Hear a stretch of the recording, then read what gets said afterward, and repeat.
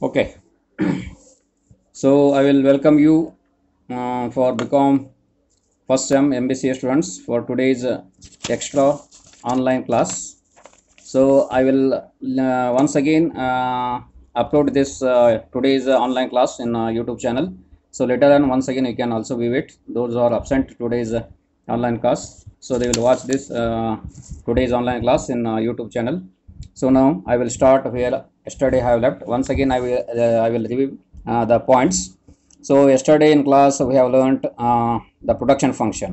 ಉತ್ಪಾದನಾ ಕಾರ್ಯವನ್ನು ಅಂದರೆ ಉತ್ಪಾದನಾ ಬಿಂಬಕ ಅಥವಾ ಉತ್ಪಾದನಾ ಕಾರ್ಯವನ್ನು ಹೇಳ್ತಾ ಇದ್ವಿ ಸೊ ಈಗ ನಿಮ್ಗೆ ಗೊತ್ತಿದೆ so the production function that express the technological or engineering relationship between the physical inputs and physical output of a firm for any given period of time ಯಾವುದೇ ಒಂದು ನಿರ್ದಿಷ್ಟಪಡಿಸಿದ ಅವಧಿಯಲ್ಲಿ ಯಾವುದೇ ಒಂದು ಉದ್ಯಮೆಯ ಒಂದು ತಾಂತ್ರಿಕತೆಯ ಇಂಜಿನಿಯರಿಂಗ್ ಸಂಬಂಧಗಳ ನಡುವಿನ ಅಂದರೆ ತಾಂತ್ರಿಕತೆ ಮತ್ತು ಅಭಿಯಾಂತ್ರಿಕ ಈ ಒಂದು ಆದಾನಗಳ ಅಂದರೆ ಸಲುವಳಿಗಳ ಒಂದು ಭೌತಿಕ ಮತ್ತು ಅದೇ ರೀತಿಯಾಗಿ ಸಲುವಳಿಗಳ ಒಂದು ಉತ್ಪನ್ನಗಳು ಭೌತಿಕವಾದಂಥ ಉತ್ಪನ್ನಗಳನ್ನ ನಡುವೆ ಇರತಕ್ಕಂಥ ಒಂದು ಸಂಬಂಧವನ್ನು ವ್ಯಕ್ತಪಡಿಸುವುದು ಅಂತ ನಾವು ಹೇಳ್ತೀವಿ. ಅದಕ್ಕೆ ಉತ್ಪಾದನಾ ಕಾರ್ಯ ಅಂತ ಇದನ್ನು ಕರೆಯಲಾಗ್ತದೆ ಅನ್ನೋದು ಹಿಂದಿನ ಕ್ಲಾಸ್ನಲ್ಲಿ ತಿಳ್ಕೊಂಡಿದ್ವಿ. ಸೊ ಈಗಾಗಲೇ the production function that shows the maximum quantity of output so that can be produced from many uh, chosen quantities that is of various inputs as well as the minimum quantities of various outputs uh, which requires at a uh, given period of uh, time so which produces the output so nimge ನಿಮಗೆ ಗೊತ್ತಿರೋ ಪ್ರಕಾರ ಇದು ಏನು ಉತ್ಪಾದನೆ ಇದು ಕಾರ್ಯ ಅಥವಾ ಬಿಂಬಕ ಇದು ನಮ್ಮ ಗರಿಷ್ಠ ಮಟ್ಟದಲ್ಲಿ ಏನನ್ನು ತೋರಿಸ್ತದ ಇದು ಯಾವ ರೀತಿಯಾಗಿ ಉತ್ಪನ್ನಗಳನ್ನು ನಾವು ಉತ್ಪಾದನೆ ಮಾಡಿದ್ದೀವಿ ಅಂದರೆ ಯಾವ ಒಂದು ಹಂತದಲ್ಲಿ ನಾವು ಈ ಒಂದು ಇನ್ಪುಟ್ಗಳನ್ನು ಉಪಯೋಗ ಮಾಡ್ಕೊಂಡಿವಿ. ಅಂದರೆ ಸಲುವೆಗಳನ್ನು ಉಪಯೋಗ ಮಾಡಿಕೊಂಡು ಸೊ ಕನಿಷ್ಠ ಮಟ್ಟದ ಸಲುವೆಗಳ ಮೂಲಕ ಸೊ ಯಾವ ಒಂದು ಹಂತದವರೆಗೆ ನಾವು ಉತ್ಪಾದನೆಯನ್ನು ಗರಿಷ್ಠ ಮಟ್ಟದಲ್ಲಿ ಮಾಡ್ತಾ ಇದ್ದೀವಿ ಅನ್ನೋದನ್ನು ಉತ್ಪಾದನಾ ಕಾರ್ಯ ಮತ್ತು ಉತ್ಪಾದನಾ ಬಿಂಬಕದ ಮೂಲಕ ತಿಳ್ಕೊಂಡಿವಿ ಅಂತ ಹೇಳಿದ್ರು ಸೊ ಅದೇ so the production process in which so the physical physical inputs are transferred into physical output so ಈಗ ಭೌತಿಕ ಈ ಒಂದು ಸಲುವಳಿಗಳನ್ನು ನಾವೇನು ಮಾಡ್ತಾ ಇದ್ದೀವಿ? ಭೌತಿಕ ಆದಾನಗಳ ಸಲುವಳಿಗಳನ್ನು ನಾವು ಯಾವ ರೀತಿಯಾಗಿ ಅಂದ್ರೆ ಈ ಒಂದು ಉತ್ಪನ್ನಗಳ ಒಂದು ಭೌತಿಕ ಸರಕುಗಳಾಗಿ ಅದನ್ನು ಉಪಯೋಗ ಮಾಡುವುದೇ ಅಥವಾ ಉತ್ಪತ್ತಿ ಮಾಡುವುದೇ ಈ ಒಂದು ಉತ್ಪಾದನೆಯ ಒಂದು ವಿಧಾನ ಅನ್ನುವುದನ್ನು ಸಹ ಈ ಒಂದು ಹಿಂದಿನ ಕ್ಲಾಸ್ನಲ್ಲಿ ನಾವು ತಿಳ್ಕೊಂಡಿದ್ದೀವಿ and also you have learn so many things about the function also we have learn so what is the equation of production function that is Q is go to function of A B C D dash dash E N ಅಂದರೆ Q it means what quantity so quantity of output so ಈಗ ಇದೇನು ಉತ್ಪನ್ನದ ಒಂದು ಪ್ರಮಾಣವನ್ನು Q ವ್ಯಕ್ತಪಡಿಸ್ತದ. And F ಏನು ವ್ಯಕ್ತಪಡಿಸ್ತದ? F that is express the function of factors of production so A B C D dash dash up to N so by using this one so we can produce the goods so ಈ ರೀತಿಯಾಗಿ ಈ ಒಂದು ಉತ್ಪಾದನಾಂಗಗಳ ಒಂದು ಉಪಯೋಗವನ್ನು ಮಾಡಿಕೊಂಡು so ಅವುಗಳ ಮೂಲಕ ಏನು ನಾವು ಉತ್ಪನ್ನವನ್ನು ಪಡಿತೀವಿ ಅದನ್ನು ವ್ಯಕ್ತಪಡಿಸುವುದೇ ಈ ಒಂದು ಉತ್ಪಾದನಾ ಕಾರ್ಯ ಅಥವಾ ಉತ್ಪಾದನಾ ಬಿಂಬಕವಾಗಿರುವುದನ್ನು ಸಹ ನಾವು ತಿಳ್ಕೊಂಡಿದ್ವಿ ಅದೇ ರೀತಿಯಾಗಿ ಈ ಒಂದು ಉತ್ಪಾದನಾ ಕಾರ್ಯ ಏನನ್ನು ಅವಲಂಬಿಸಿದೆ? What it depends so production function always depending on the quantity of inputs or production or factors of production which are used ಈಗ ನಿಮ್ಗೆ ಗೊತ್ತಿರೋ ಪ್ರಕಾರ ಈ ಒಂದು ಉತ್ಪಾದನಾ ಕಾರ್ಯ ಸೊ ಈಗ ಕ್ಲಾಸ್ ತಿಳ್ಕೊಂಡ್ವಿ. ಉತ್ಪಾದನಾ ಕಾರ್ಯ ಯಾವುದರ ಮೇಲೆ ಅವಲಂಬಿತವಾಗಿದೆ ಅಂತ ಹೇಳಿದ್ರೆ ಏನ್ ಹೇಳ್ತೀವಿ ನಾವು? ಅದು ಸಲುವಳಿಗಳು, ಅಂದ್ರೆ ಭೌತಿಕ ಸಲುವಳಿಗಳು. ನಾವು ಏನು ಈ ಒಂದು ಉತ್ಪನ್ನದ ಒಂದು ವಿಧಾನದಲ್ಲಿ ಅವನ್ನ ಉಪಯೋಗ ಅಂದ್ರೆ ವಿಶೇಷವಾಗಿ ಏನ್ ಹೇಳ್ತೀವಿ ಅದಕ್ಕೆ ಫ್ಯಾಕ್ಟರ್ಸ್ ಆಫ್ ಪ್ರೊಡಕ್ಷನ್ ಅಂದ್ರೆ ಉತ್ಪಾದನಾಂಗಗಳನ್ನ ಉಪಯೋಗ ಮಾಡಿಕೊಡ್ತೀವಿ. ಸೊ ಆ ಉತ್ಪಾದನಾಂಗಗಳು ಏನಕ್ಕವ ಅವು ನಮಗೆ ಸಲುವಳಿಗಳು, ಅಂದ್ರೆ ಭೌತಿಕ ಸಲುವಳಿಗಳು ಅಥವಾ ಉತ್ಪನ್ನಗಳು ಅಂತ ನಾವು ಭೌತಿಕ ಈ ಒಂದು ಆದಾನಗಳು ಅಂತ ಹೇಳ್ತೀವಿ. ಸೊ ಆದಾನಗಳನ್ನ ಉಪಯೋಗ ಮಾಡಿಕೊಂಡು ಪ್ರದಾನಗಳನ್ನ ಮಾಡುವುದು ಅಂತ ಹೇಳ್ಬೋದು. ಸೊ ಈ ರೀತಿಯ ಒಂದು ಸಂಬಂಧವನ್ನು ಅದು ಹೊಂದಿದೆ. ಅದೇ ರೀತಿಯಾಗಿ so it also depending on the relative prices of factors of production so ಇದು ಮತ್ತೊಂದು ಮುಖ್ಯವಾದಂತಹ ಸಂಗತಿ. ಅಂದ್ರೆ, ಬೆಲೆಗಳ ಒಂದು ಸಂಬಂಧವನ್ನ, ಉತ್ಪಾದನಾಂಗಗಳು, ಉತ್ಪಾದನೆ ಆಗಬೇಕಾದ ಉತ್ಪಾದನೆಗಳ ಮೂಲಕ, ಉತ್ಪಾದನಾಂಗಗಳ ಮೂಲಕ ನಾವು ಉತ್ಪಾದನೆ ಮಾಡಬೇಕಾದ್ರೆ ಯಾವ ರೀತಿಯ ಒಂದು ಬೆಲೆಗಳ ಸಂಬಂಧವನ್ನು ಹೊಂದಿದೆ ಅನ್ನೋದನ್ನೋದು ವ್ಯಕ್ತಪಡಿಸಿದೆ. And also the manner in which the factors are combined so ಯಾವ ಒಂದು ಕ್ರಮಬದ್ಧವಾಗಿ ನಾವು ಈ ಒಂದು ಉತ್ಪಾದನಾಗಳನ್ನು ಸಂಯೋಜಿಸಿ ಅವುಗಳ ಉತ್ಪಾದನೆಯನ್ನು ಮಾಡಬಹುದು ಅದ್ರ ಮೇಲೆಯೂ ಸಹ ಅದು ಅವಲಂಬಿತವಾಗಿದೆ ಅಂತ ಹೇಳ್ಬೋದು. And also it depends on the state or technical conditions and marginal ability ಅದೇ ರೀತಿಯಾಗಿ ಅಂಚಿನ ಒಂದು ಸಾಮರ್ಥ್ಯ ಅದೇ ರೀತಿಯಾಗಿ ಈ ಒಂದು ತಾಂತ್ರಿಕತೆಯ ಸ್ಥಿತಿಗತಿಗಳು ರಾಜ್ಯ ಮಟ್ಟ, ರಾಜ್ಯದಲ್ಲಿ ಇರ್ಬೋದು, ಅದೇ ರೀತಿಯಾಗಿ ಕೇಂದ್ರದಲ್ಲಿ. ಸೊ ಅನೇಕ ಈ ಒಂದು ಬೃಹತ್ ಮತ್ತು ಮಧ್ಯಮ ಮತ್ತು ಅನೇಕ ಈ ಒಂದು ಸಣ್ಣ ಏನೋ ಸಣ್ಣ ಉದ್ಯಮಿಗಳು ಸಹ ನಾವು ಹೇಳ್ಬೋದು. ಸೊ ಈಗ ಅದು ರಾಜ್ಯ ರಾಜ್ಯ ಇರ್ಬೋದು, ಆಮೇಲೆ ರಾಷ್ಟ್ರ ಮಟ್ಟದಲ್ಲಿ ಇರ್ಬೋದು. ಸೊ ಯಾವ ರಾಜ್ಯದಲ್ಲಿ ಯಾವ ರೀತಿಯ ಒಂದು ತಂತ್ರಜ್ಞಾನ ಅಭಿವೃದ್ಧಿಯಾಗಿದೆ, ರಾಷ್ಟ್ರ ಮಟ್ಟದ ಒಂದು ಉದ್ಯಮಿಗಳಲ್ಲಿ ಯಾವ ರೀತಿ ತಂತ್ರಜ್ಞಾನ, ಅದೇ ರೀತಿಯಾಗಿ ಖಾಸಗಿ ವಲಯದ ಒಂದು ಉದ್ದಿಮೆಗಳಲ್ಲಿ. ಸೊ ಎಲ್ಲ ಸ್ಥಿತಿಗತಿಗಳನ್ನು ಅದು ಅವಲಂಬಿತವಾಗಿದೆ ಅಂತ ಹೇಳ್ಬೋದು. ಅದೇ ರೀತಿಯಾಗಿ ಸೈಜ್ ಆಫ್ ದ ಫರ್ಮ್ ಉದ್ದಿಮೆಯ ಒಂದು ಗಾತ್ರವನ್ನು ಹೊಂದಿದೆ. ಅದೇ ರೀತಿಯಾಗಿ ನೇಚರ್ ಆಫ್ ಇಟ್ಸ್ ಆರ್ಗನೈಸೇಷನ್ ಸಂಘಟನೆಯ ಒಂದು ಸ್ವಭಾವ, ಅದರ ಒಂದು ಯಾವ ರೀತಿಯ ಒಂದು ಸ್ವಭಾವವನ್ನು ಒಳಗೊಂಡಿದೆ. Whether it is a online production or whether it is a offline production so we can also produce the goods on online and also we can produce the goods also on offline so ಈ ರೀತಿಯಾಗಿ ನಾವು ಏನು ಒಂದು ಕೇವಲ online ಅಂದರೆ ನಾವು ವಿದ್ಯುತ್ ಶಕ್ತಿ ಉಪಯೋಗ ಮಾಡಿಕೊಂಡು ನಾವು ಸರಕುಗಳನ್ನು ಉತ್ಪಾದನೆ ಮಾಡಬೇಕಲ್ಲ. So we can labour oriented and also we can machine oriented or capital oriented industry so ನಮ್ಮಲ್ಲಿ ಏನಿದೆ?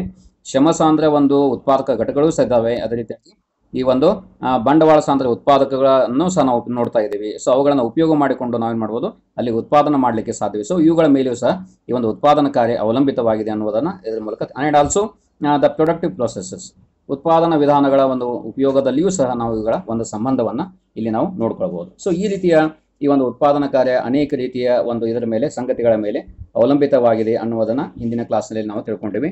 And also we have know what are assumptions of the production function so it is concerned with a particular unit of time that is a given period of time ಇದು ಒಂದು ಪ್ರಮುಖವಾದಂಥ ಒಂದು ಊಹೆ ಅಂತ ತಿಳ್ಕೊಂಡಿದೆ. Okay ಅಂದರೆ ಒಂದು ನಿರ್ದೇಶಪಡಿಸಿದ ಒಂದು ಅವಧಿಯ ಮೇಲೆ ಇದು ಅವಲಂಬಿತವಾಗಿದೆ. ಯಾವುದೇ ಒಂದು ಘಟಕದ ಈ ಒಂದು ಉದ್ದಿಮೆ ಉತ್ಪಾದನಾ ಕಾರ್ಯದಲ್ಲಿ ತೊಡಗಿದಾಗ ಅದು ಒಂದು ನಿರ್ದಿಷ್ಟಪಡಿಸಿದ ಅವಧಿಯನ್ನು ತೆಗೆದುಕೊಳ್ಳಬೇಕು ಅನ್ನುವುದನ್ನು ಉತ್ಪಾದನಾ ಕಾರ್ಯ ಅದರ ಮೊದಲ ಊಹೆ ಹೇಳ್ತದೆ. ಎರಡನೇ ಊಹೆ ಏನು ಹೇಳ್ತದೆ? The technical knowledge during the period of time remains constant and does not change ತಂತ್ರಜ್ಞಾನದ ಒಂದು ಜ್ಞಾನ ಏನಿದೆ ಅಥವಾ ತಂತ್ರಜ್ಞಾನದಲ್ಲಿ ಯಾವುದೇ ರೀತಿಯ ಒಂದು ಬದಲಾವಣೆ ಆಗಕೂಡದು. ಅದು ಯಾವತ್ತಲ್ಲೂ ಸ್ಥಿರವಾಗಿರಬೇಕು. ನಾವೀಗ ಉತ್ಪಾದನಾ ಕಾರ್ಯವನ್ನು ಪ್ರಾರಂಭ ಮಾಡಿದೀವಿ ಅಂತ ತಿಳ್ಕೊಂಡಾಗ ಅದೇ ತಂತ್ರಜ್ಞಾನದಲ್ಲಿ ನಾವು ಉತ್ಪಾದನಾ ಚಟುವಟಿಕೆಯನ್ನು ಮುಂದುವರಿಸಬೇಕು. ಇದು ಎರಡನೇ ಒಂದು ಮೂಹೆ ಅಂದರೆ ಇದು ಒಂದು ಅಜಂಪ್ಷನ್ ಅಂತ ಹೇಳ್ಬೋದು. And the third one is the factors of production are divisible into viable units ಅಂದ್ರೆ ನಾವು ಈಗ ಉತ್ಪಾದನಾಂಗಗಳನ್ನ ಈ ಒಂದು ಸಮ ಹಂತದಲ್ಲಿ ಅವುಗಳನ್ನ ವಿಭಜನೆ ಮಾಡಲಿಕ್ಕೆ ಸಾಧ್ಯವಿರಬೇಕು. ಓಕೆ ಸೊ ಒಂದು ವೇಳೆ ಇದು ಸಾಧ್ಯವಿಲ್ಲದೆ ಇದ್ರೆ so we cannot apply the factors cannot apply the production function so ಇದು ಒಂದು ಪ್ರಮುಖವಾದಂತಹ ಒಂದು ಊಹೆ ಆಗಿದೆ ಅಂತ ಹೇಳ್ಬೋದು. And also the firm engaged in production is using the best and the most economical technique available ಅದೇ ರೀತಿಯಾಗಿ ನಾವು ಉತ್ಪಾದನೆಯನ್ನು ತೊಡಗಿಸಿದಾಗ, ಅದ ಉತ್ಪಾದನೆ ಮಾಡ್ತಕ್ಕಂಥ ಸಂದರ್ಭದಲ್ಲಿ ಈ ಒಂದು ಆರ್ಥಿಕ ಮಿತವ್ಯಯ ತಂತ್ರಜ್ಞಾನದ ಒಂದು ಉಪಯೋಗವನ್ನು ನಾವು ಅಲ್ಲಿ ಮಾಡ್ಕೊಳ್ಬೇಕಾಗ್ತದೆ. ಓಕೆ ಸೊ ನಾವು ಹೆಚ್ಚು ವೆಚ್ಚ ಆಧಾರಿತ ತಂತ್ರಜ್ಞಾನವನ್ನು ಅಂದರೆ ಆರ್ಥಿಕ ಮಿತವ್ಯಯವಲ್ಲದ ಒಂದು ತಂತ್ರಜ್ಞಾನ ಉಪಯೋಗ ಮಾಡಿಕೊಂಡಿದ್ದೆ ಅಲ್ಲಿ ಉತ್ಪಾದನಾ ವೆಚ್ಚ ಹೆಚ್ಚಿಗೆ ಆಗ್ತದೆ ಅದು ಉತ್ಪಾದನೆಯಲ್ಲಿ ಅದು ಪ್ರಮುಖ ತೊಡಕಾಗಿ ಪರಿಣಮಿಸ್ತದೆ. ಆದ್ದರಿಂದ to use a economy economy so technical economies ಅಂದರೆ ತಾಂತ್ರಿಕತೆಯ ಮಿತವ್ಯಯಗಳನ್ನು ನಾವಲ್ಲಿ ಉಪಯೋಗ ಮಾಡಿಕೊಂಡು ಏನು ಮಾಡಬೇಕು ಉತ್ಪಾದನೆಯನ್ನು ಮಾಡಬೇಕು ಅನ್ನುವುದನ್ನು ತಿಳ್ಕೊಂಡಿವಿ ಸೊ ನಾವು yesterday have left so have to explain production function with the help of one that is example so here we can see i will show uh, this the example in book you can see here okay so i will zoom it see here you can see here, whatever the this column the up column here you can see that is uh, this one uh, that is explains the input or uh, input of capital. So ಇದು ಮೇಲಿನ column ಏನ್ ತೋರಿಸ್ತದೆ ಇದು input of capital ಅನ್ನು ತೋರಿಸ್ತದೆ ಅಂದ್ರೆ ಈ ಒಂದು ಬಂಡವಾಳದ ಒಂದು ಆದಾನಗಳನ್ನು ತೋರಿಸ್ತದೆ ಸೊ ಯಾವ ರೀತಿಯ ಒಂದು ಬಂಡವಾಳ ಇಲ್ಲಿ ನಾವು ಹೂಡಿಕೆ ಮಾಡಬೇಕಾಗಿದೆ. And whatever the second that is row we can see here that is input of labour so ಅದೇ ರೀತಿಯಾಗಿ ಇಲ್ಲಿ ನೀವು ನೋಡಬಹುದು ಕೆಳಗಿನ ರೋಗದಲ್ಲಿ ಸೊ ಇದು ಏನ್ ತೋರಿಸದ? ಶ್ರಮವನ್ನು ತೋರಿಸ್ತದ ಶ್ರಮ ಓಕೆ ಇದು ಏನ್ ತೋರಿಸದ? ಇದು ಬಂಡವಾಳ ತೋರಿಸದ? ಇದು ಶ್ರಮವನ್ನು ತೋರಿಸ್ತದ so whatever the here you can see number that is input of capital one two three to one two three four five that is this column second ಕಾಲಮ್ದಲ್ಲೇ ನೋಡ್ಬೋದು that is input of capital one two three four five and in row column you can see here 1 2 3 4 5 that is input of labor. Okay? So, ಇದೆಲ್ಲ ಏನು ತೋರಿಸದ this row this row indicates the input of labors start from 1 2 3 4 and 5 okay you can see here okay see here this is input of labor the row indicates the input of labor starts from 1 2 3 4 and 5 and the this one uh, this express the input of uh, capital ಇದು ಏನು ತೋರಿಸ್ತದ ಬಂಡವಾಳದ ಒಂದು ಸಲುವಳಿ ಅಂದ್ರೆ ಆದಾನಗಳನ್ನ ತೋರಿಸ್ತದ ಅಂತ ಹೇಳ್ಬೋದು ಸಿಯರ್ from below This indicates one two three four five from lower to higher okay higher units okay so ಈ ರೀತಿಯಾಗಿ ನಾವು ಇಲ್ಲಿ ಯೂನಿಟ್ಗಳನ್ನು ನೋಡ್ತಾ ಇದ್ದೀವಿ. Input of capital and input of labours and next the output of X x per unit of time so how much we can we can can produce that is output here output we call it as X here so this is the which so I will zoom it ಕೇಳಿಸ್ತದೆಯಾ? ನಾ ಮಾತಾಡೋದು? Hello? See here. The upward row that indicates X, that is X means what? Uh, the output of X commodity per unit of uh, time. So the output of X commodity per unit of uh, time. So that expresses the upward column. Okay. Sorry, upward row. So here uh, we have to take any uh, two combinations that is from capital and also from labor.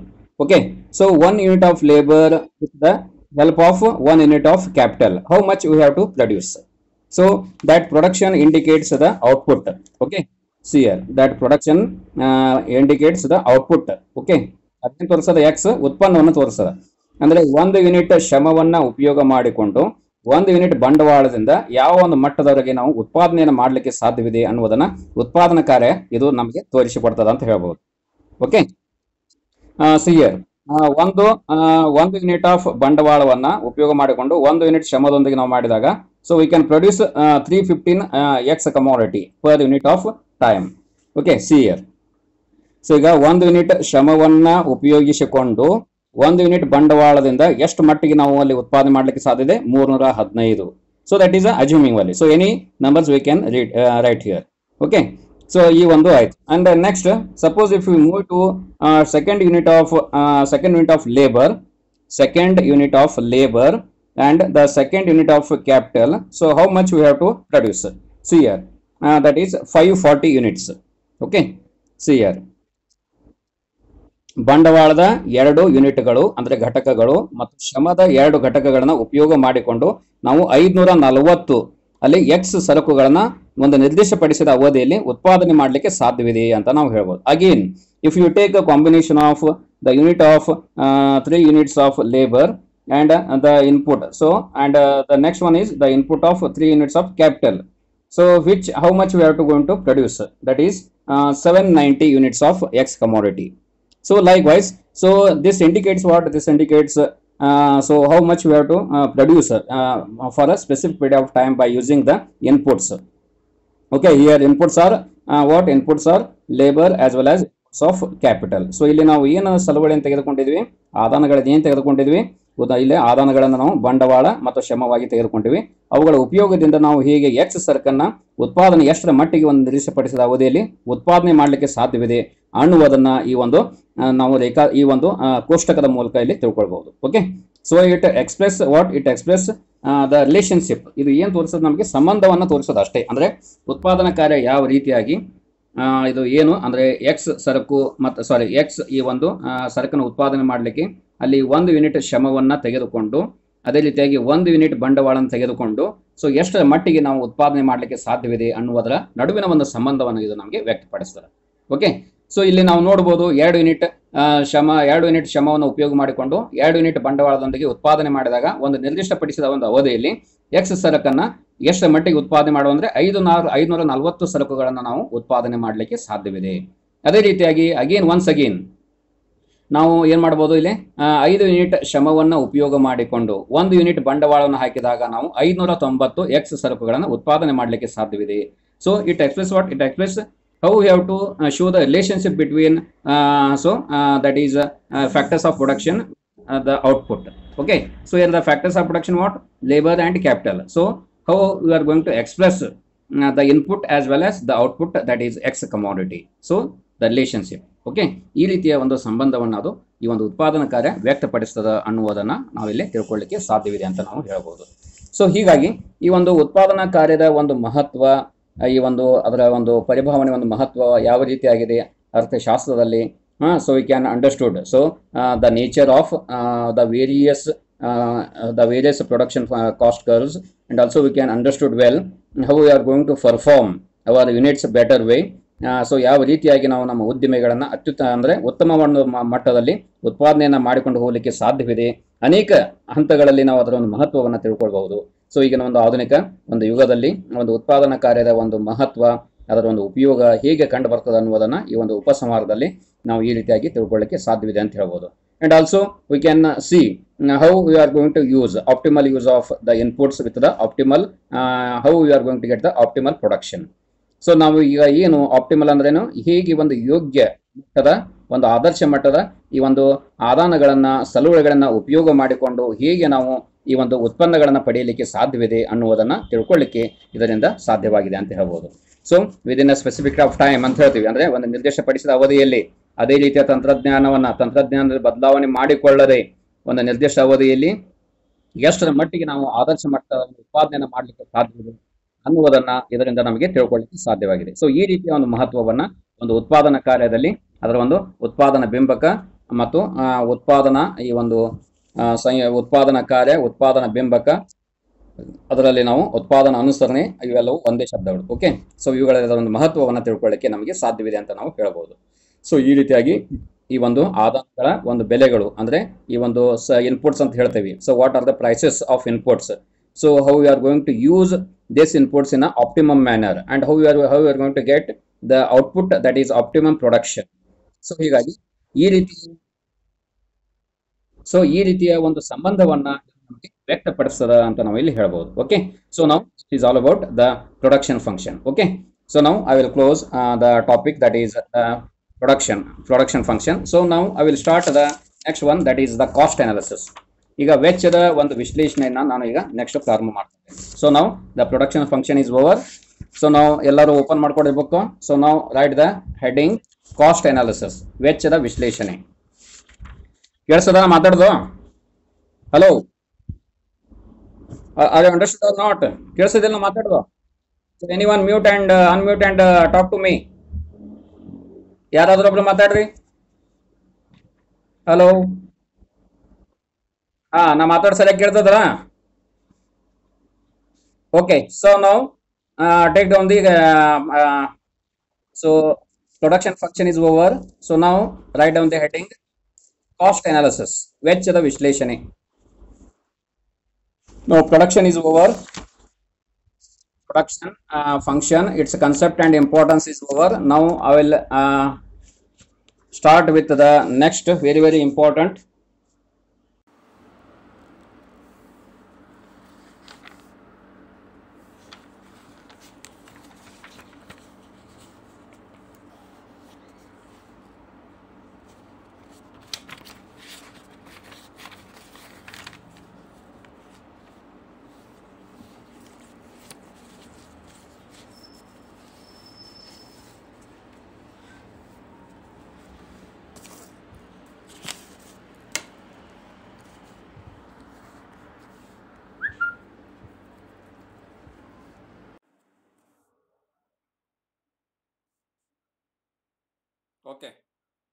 So again welcome you all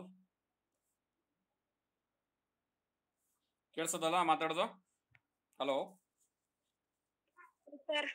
ಹಾ right so write down heading ಬರ್ಕೊಡ್ರಿ cost analysis ವೆಚ್ಚದ ವಿಶ್ಲೇಷಣೆ.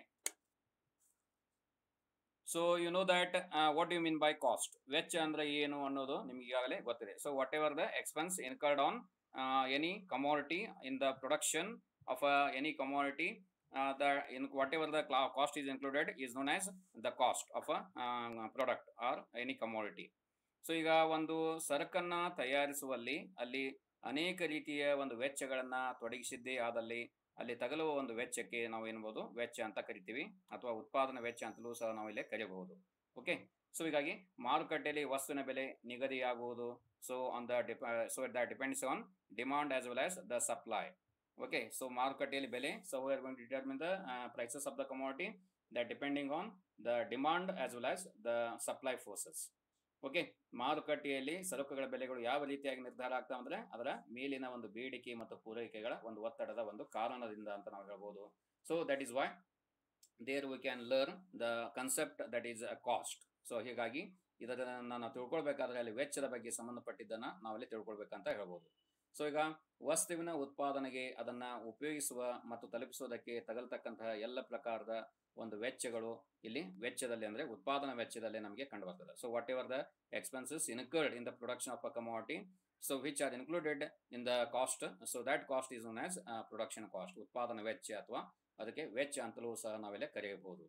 So ಹೀಗಾಗಿ ಇಲ್ಲಿ ಒಂದು ಸರಕಿಗೆ when you have to add a utility so that commodity is known as ಏನಂತೇವಿ production ಅಂತ ಹೇಳ್ತೀವಿ. ಅದಕ್ಕೆ ಒಂದು ಸರಕಿಗೆ ನಾವು ತುಷ್ಟಿಗುಣವನ್ನು ಸೇರಿಸಿದಾಗ ಅದು ಉಪಯೋಗ ಆದರೆ ಅಥವಾ ಉಪಯೋಗಕ್ಕೆ ಬರುವಂಥ ಸರಕಾಗಿದ್ದರೆ ಅದಕ್ಕೆ ನಾವು ಉತ್ಪಾದನೆ ಅಥವಾ ಉತ್ಪಾದಕ ಸರಕು ಅಂತ ಅದನ್ನು ನಾವು ಕರೆಯಬಹುದು.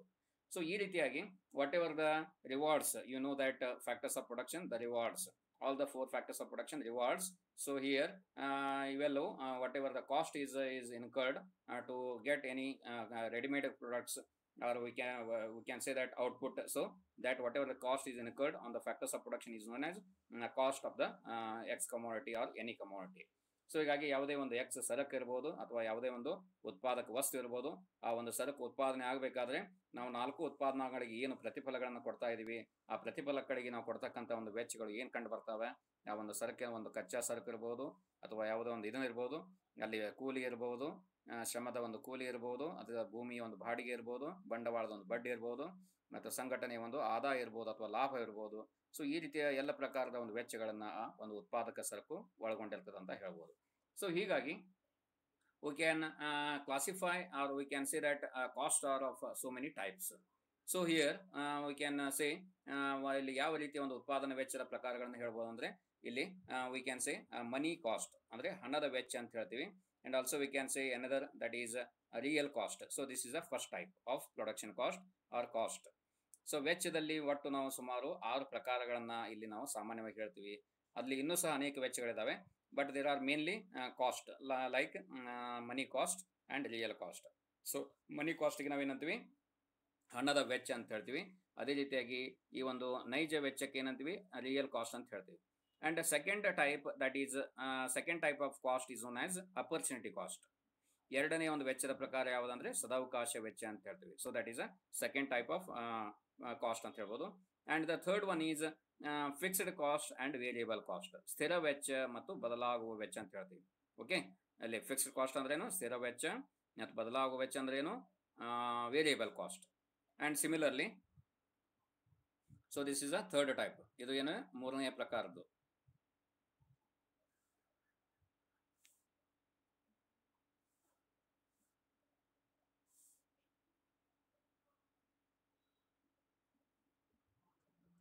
ಓಕೆ ಇದು ಏನು ಮೂರನೆಯ ಪ್ರಕಾರದ ಅಂತ ಹೇಳ್ಬೋದು. ಓಕೆ ಒಂದು second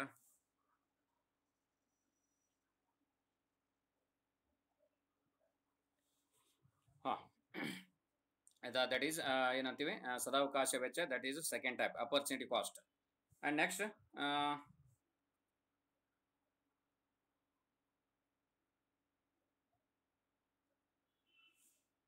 and the third one is short run cost and long run cost ಅಲ್ಪಾವಧಿ ವೆಚ್ಚ ಮತ್ತು ದೀರ್ಘಾವಧಿ ವೆಚ್ಚ, ಅದು ಮೂರನೇ ಪ್ರಕಾರ. Okay short run cost and long run cost ಅಲ್ಪಾವಧಿ ವೆಚ್ಚ ಮತ್ತು ದೀರ್ಘಾವಧಿಯ ವೆಚ್ಚ. And fourth one is fixed cost and variable cost ಸ್ಥಿರ ವೆಚ್ಚ ಮತ್ತು ಬದಲಾಗುವ ವೆಚ್ಚ. ಆಮೇಲೆ ಐದನೇದು ಸರಾಸರಿ ಸ್ಥಿರ ವೆಚ್ಚ average fixed cost and average variable cost ಸರಾಸರಿ ಬದಲಾಗುವ ವೆಚ್ಚ, ಇದು ಐದನೇ ಪ್ರಕಾರದ್ದು. And sixth one is total cost average cost and marginal cost ಆರನೇದು ಯಾವುದು? ಒಟ್ಟು ವೆಚ್ಚ, ಆಮೇಲೆ ಸರಾಸರಿ ವೆಚ್ಚ ಮತ್ತು ಅಂಚಿನ ವೆಚ್ಚ. ಸೊ ಈ ರೀತಿಯಾಗಿ ಒಟ್ಟು ನಾವು ಆರು ರೀತಿಯ ವೆಚ್ಚದ ಪ್ರಕಾರಗಳನ್ನು ಇಲ್ಲಿ ಅಧ್ಯಯನ ಮಾಡಬಹುದು. And after you can also here we are going to learn there are some other cost like explicit cost and implicit cost ವ್ಯಕ್ತ ವೆಚ್ಚಗಳು ಅಂತ ಹೇಳ್ತೀವಿ ಮತ್ತು ಅವ್ಯಕ್ತ ವೆಚ್ಚಗಳು ಅಂತ ಹೇಳ್ತೀವಿ. ಎಕ್ಸ್ಪ್ಲಿಸಿಟ್ ಕಾಸ್ಟ್ ಅಂದ್ರೇನು? ವ್ಯಕ್ತ ವೆಚ್ಚಗಳು. ಮತ್ತು ಇಂಪ್ಲಿಸಿಟ್ ಕಾಸ್ಟ್ ಅಂದ್ರೇನು ಅವ್ಯಕ್ತ ವೆಚ್ಚಗಳು. ಸೊ ಈ ರೀತಿಯ ಅನೇಕ ವೆಚ್ಚಗಳನ್ನ ನೀವು ಇಲ್ಲಿ ಅಧ್ಯಯನ ಮಾಡ್ತೀರಿ. Okay so these are all the types of cost ಇವೆಲ್ಲ ಏನು? ವೆಚ್ಚದ ಪ್ರಕಾರಗಳು. So what are those number one once again I repeat what are the types of cost ವೆಚ್ಚದ ಪ್ರಕಾರಗಳು ಇಲ್ಲಿ ಯಾವುದು? ಬರ್ಕೊಡ್ರಿ ಪಾಯಿಂಟ್ಸ್ ಅನ್ನ. ನಂಬರ್ ಒನ್ ಫಸ್ಟ್ ಟೈಪ್ ಹಣದ ವೆಚ್ಚ, ನೈಜ ವೆಚ್ಚ money cost and real cost ಒಂದೇದು ಯಾವುದು ಹಣದ ವೆಚ್ಚ ಮತ್ತು ನೈಜ ವೆಚ್ಚ. Money cost and real cost ಎರಡನೇದು ಯಾವುದು ಸದಾವಕಾಶ ವೆಚ್ಚ ಅಪರ್ಚುನಿಟಿ ಕಾಸ್ಟ್ ಎರಡನೇದು. And third one is short run cost and long run cost sorry ಮೂರನೇದು ಅಲ್ಪಾವಧಿ ವೆಚ್ಚ ಮತ್ತು ದೀರ್ಘಾವಧಿಯ ವೆಚ್ಚ. Okay short run cost and long run cost that is third type and fourth one is fixed cost and variable cost ನಾಲ್ಕನೇದು ಯಾವುದು ಸ್ಥಿರ ವೆಚ್ಚ ಮತ್ತು ಬದಲಾಗುವ ವೆಚ್ಚ. ಓಕೆ ಸ್ಥಿರ ವೆಚ್ಚ ಮತ್ತು ಬದಲಾಗುವ ವೆಚ್ಚ, ಇದು ನಾಲ್ಕನೇದು. ಅಂದ್ರೆ fixed cost and variable cost and fifth one is average fixed cost ಸರಾಸರಿ ಸ್ಥಿರ ವೆಚ್ಚ ಮತ್ತು ಸರಾಸರಿ ಬದಲಾಗುವ ವೆಚ್ಚ average variable cost okay so ಇದು ಯಾವ್ದು ಹೇಳ್ತಾರೆ?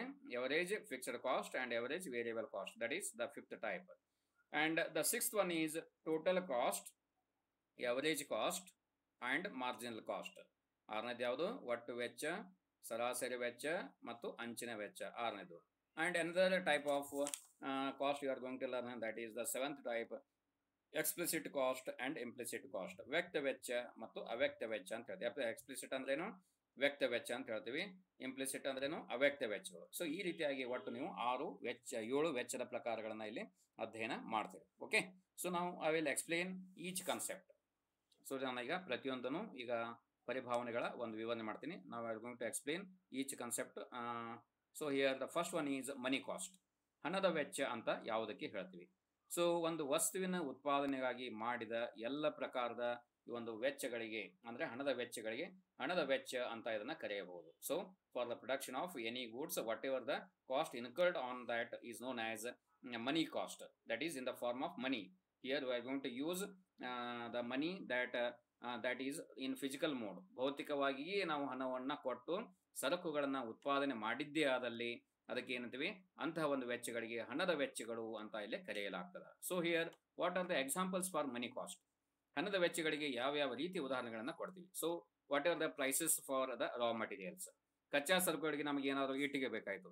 ಏನಾದರೂ ನಮಗೆ ಒಂದು, ಏನು ಉಸುಕ ಬೇಕಾಯಿತು, ಸ್ಯಾಂಡ್ ಸಿಮೆಂಟ್ ಬೇಕಾಯಿತು. So whatever the money is incurred on that is known as so money cost ಅಂತ ಹೇಳ್ತೀವಿ. ಅದಕ್ಕೆ ನಾವು ಹಣವನ್ನೇ ಕೊಟ್ಟು ನೇರವಾಗಿ ಸರಕುಗಳನ್ನು ತೆಗೆದುಕೊಳ್ಬೇಕು. ಅದಕ್ಕೆ ಕಚ್ಚಾ ಸಾಮಗ್ರಿಗಳಿಗೆ ಕೊಡುವ ಬೆಲೆ ಅಂತ ಹೇಳ್ತೀವಿ. And next one is the labour cost so ಅಲ್ಲಿ ಕಾರ್ಮಿಕರಿಗೆ ಕೊಡ್ತಕ್ಕಂಥ ಒಂದು ಕೂಲಿ. So we call it here as wages ಅಂದ್ರೆ ಕಾರ್ಮಿಕರಿಗೆ ಕೊಡ್ತಕ್ಕಂಥ ಒಂದು ಕೂಲಿ ಅಂತ ಹೇಳ್ಬೋದು. And salaries for the employees who are involved in the production ಅಂದ್ರೆ ಉದ್ಯೋಗಿಗಳಿಗೆ ಕೊಡತಕ್ಕಂತಹ ಒಂದು ಏನು ವೇತನ ಇರಬಹುದು ಅಥವಾ ಸಂಬಳ ಅಂತ ಹೇಳ್ತೀವಿ.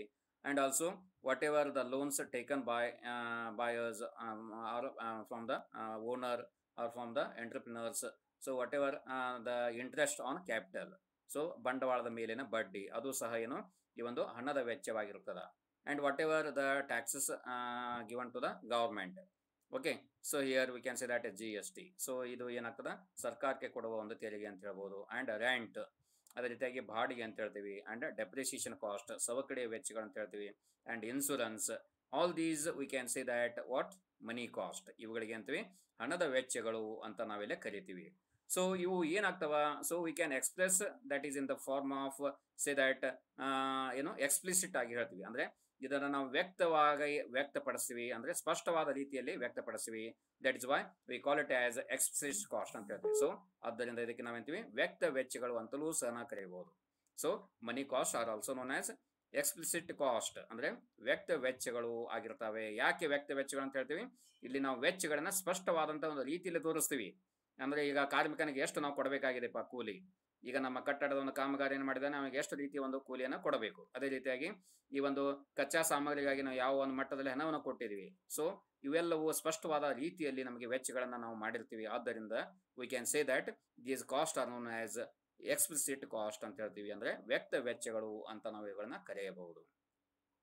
ಅದೇ ರೀತಿಯಾಗಿ ನಾವು ಅನೇಕ ಅಂದ್ರೆ ಹಣ ಕೊಟ್ಟು ಅಲ್ಲಿ ಪಡೆಯಬೇಕಾಗಿರುವ ಉತ್ಪಾದನಾಗಳಿಗೆ ಸಂಬಂಧಿಸಿದ ಎಲ್ಲ ವ್ಯಕ್ತಿಗಳು ಇಲ್ಲಿ ವೆಚ್ಚ, ವ್ಯಕ್ತ ವೆಚ್ಚಗಳು ಅಂತ ನಾವು ಈಗ ತಿಳ್ಕೊಂಡ್ವಿ. ಸೊ ಈಗ ಸ್ಪಷ್ಟವಾಗಿ ಈ ಒಂದು ಲೆಕ್ಕಗಳನ್ನ ನಾವು ನಗದು ಪುಸ್ತಕದಲ್ಲಿ ಅಂದ್ರೆ ಅಕೌಂಟ್ ಬುಕ್ಸ್ ದಲ್ಲಿ ಇವೆಲ್ಲವುಗಳನ್ನ ನಾವು ಅಲ್ಲಿ ವ್ಯಕ್ತಪಡಿಸ್ತೀವಿ. ಸೊ ಈ ರೀತಿಯಾಗಿ ನಾ ಈಗಾಗಲೇ ಹೇಳಿದ್ದೀನಿ ಕಚ್ಚಾ ಸರಕುಗಳ ಬೆಲೆಗಳಿರ್ಬೋದು, ಅದೇ ರೀತಿಯಾಗಿ ಈ ಅನೇಕ ಈ ಒಂದು ನೀರಿನ ವೆಚ್ಚ ಇರ್ಬೋದು ಗೇನ್ ಇರ್ಬೋದು, ಕೂಲಿ ಇರ್ಬೋದು, ಸಂಬಳ, ತೆರಿಗೆ, ಜಾಹೀರಾತು, ವಿಮೆ, ಸೋಡಿ, ಸವಕಳಿ ಆಮೇಲೆ so all these are known as what explicit cost ಇವೆಲ್ಲವುಗಳಿಗೆ ವ್ಯಕ್ತ ವೆಚ್ಚಗಳು ಅಂತ ನಾವಿಲ್ಲಿ ಕರಿತೀವಿ. So we can clearly light write it in accounts book ಲೆಕ್ಕದ ಪುಸ್ತಕದಲ್ಲಿ ನಾವುಗಳನ್ನು ಸ್ಪಷ್ಟವಾದಂತಹ ಒಂದು ರೀತಿಯಲ್ಲಿ ಈ ರೀತಿಯ ಒಂದು ವೆಚ್ಚಗಳನ್ನ ನಾವು ವ್ಯಕ್ತಪಡಿಸ್ತೀವಿ.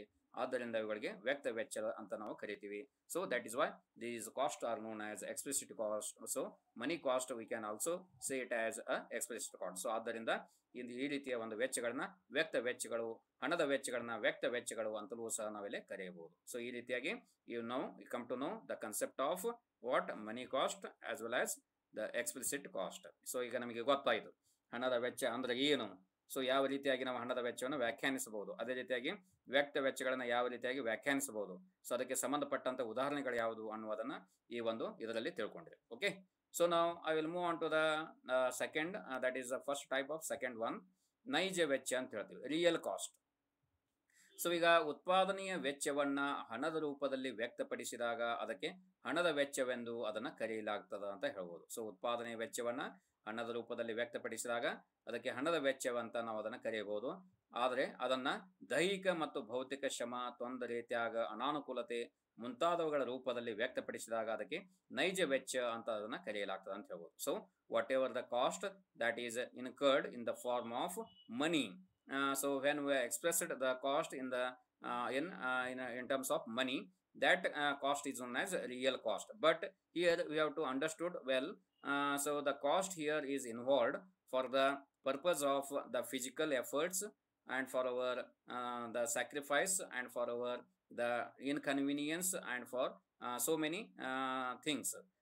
Whether we have to use our physical for the production purposes and also we have used our sacrifice things and so many uh, problems when we have to use all these so whatever the cost involved or whatever the prices involved is uh, known as ನೈಜ cost ಅಂದ್ರೆ real cost ಅಂತ ಅದನ್ನು ನಾವು ಕರಿತೀವಿ so ಹೀಗಾಗಿ ಉತ್ಪಾದನೆ ವೆಚ್ಚವನ್ನ ಹಣದ ರೂಪದಲ್ಲಿ ವ್ಯಕ್ತಪಡಿಸಿದಾಗ ಅದಕ್ಕೆ ಹಣದ ವೆಚ್ಚವೆಂದು ಹೇಳಿದರೆ ನೈಜ ವೆಚ್ಚವನ್ನ ನಾವು ಯಾವ ರೀತಿಯಾಗಿ ಹೇಳ್ತೀವಿ ದೈಹಿಕ ಭೌತಿಕ ಶ್ರಮ ತೊಂದರೆ ತ್ಯಾಗ ಅನಾನುಕೂಲತೆ ಮುಂತಾದವುಗಳ ಒಂದು ರೂಪದಲ್ಲಿ ವ್ಯಕ್ತಪಡಿಸಿದಾಗ ಅದನ್ನ ನೈಜ ವೆಚ್ಚ ಅಂತ ನಾವು ಈ ರೀತಿಯಾಗಿ ವ್ಯಕ್ತಪಡಿಸಬಹುದು. ಸೊ ನಾವು will come to know the difference between what to what the difference between money cost and real cost so money cost that involved the cost directly okay ಅಲ್ಲಿ ಏನಾಗ್ತದೆ? ನೇರವಾಗಿ ನಾವು ವೆಚ್ಚಗಳನ್ನು ವ್ಯಕ್ತಪಡಿಸ್ತೀವಿ. ಆದ್ದರಿಂದ we can say that that cost known as explicit cost so ಈ ರೀತಿಯಾಗಿ ನೇರವಾದಂತಹ ಒಂದು ವ್ಯಕ್ತ, ವೆಚ್ಚಗಳನ್ನು ನಾವು ವ್ಯಕ್ತಪಡಿಸಿದ್ದೇ ಆದಲ್ಲಿ ಅವುಗಳಿಗೆ ಹಣದ ವೆಚ್ಚ ಅಂತ ಹೇಳ್ತೀವಿ.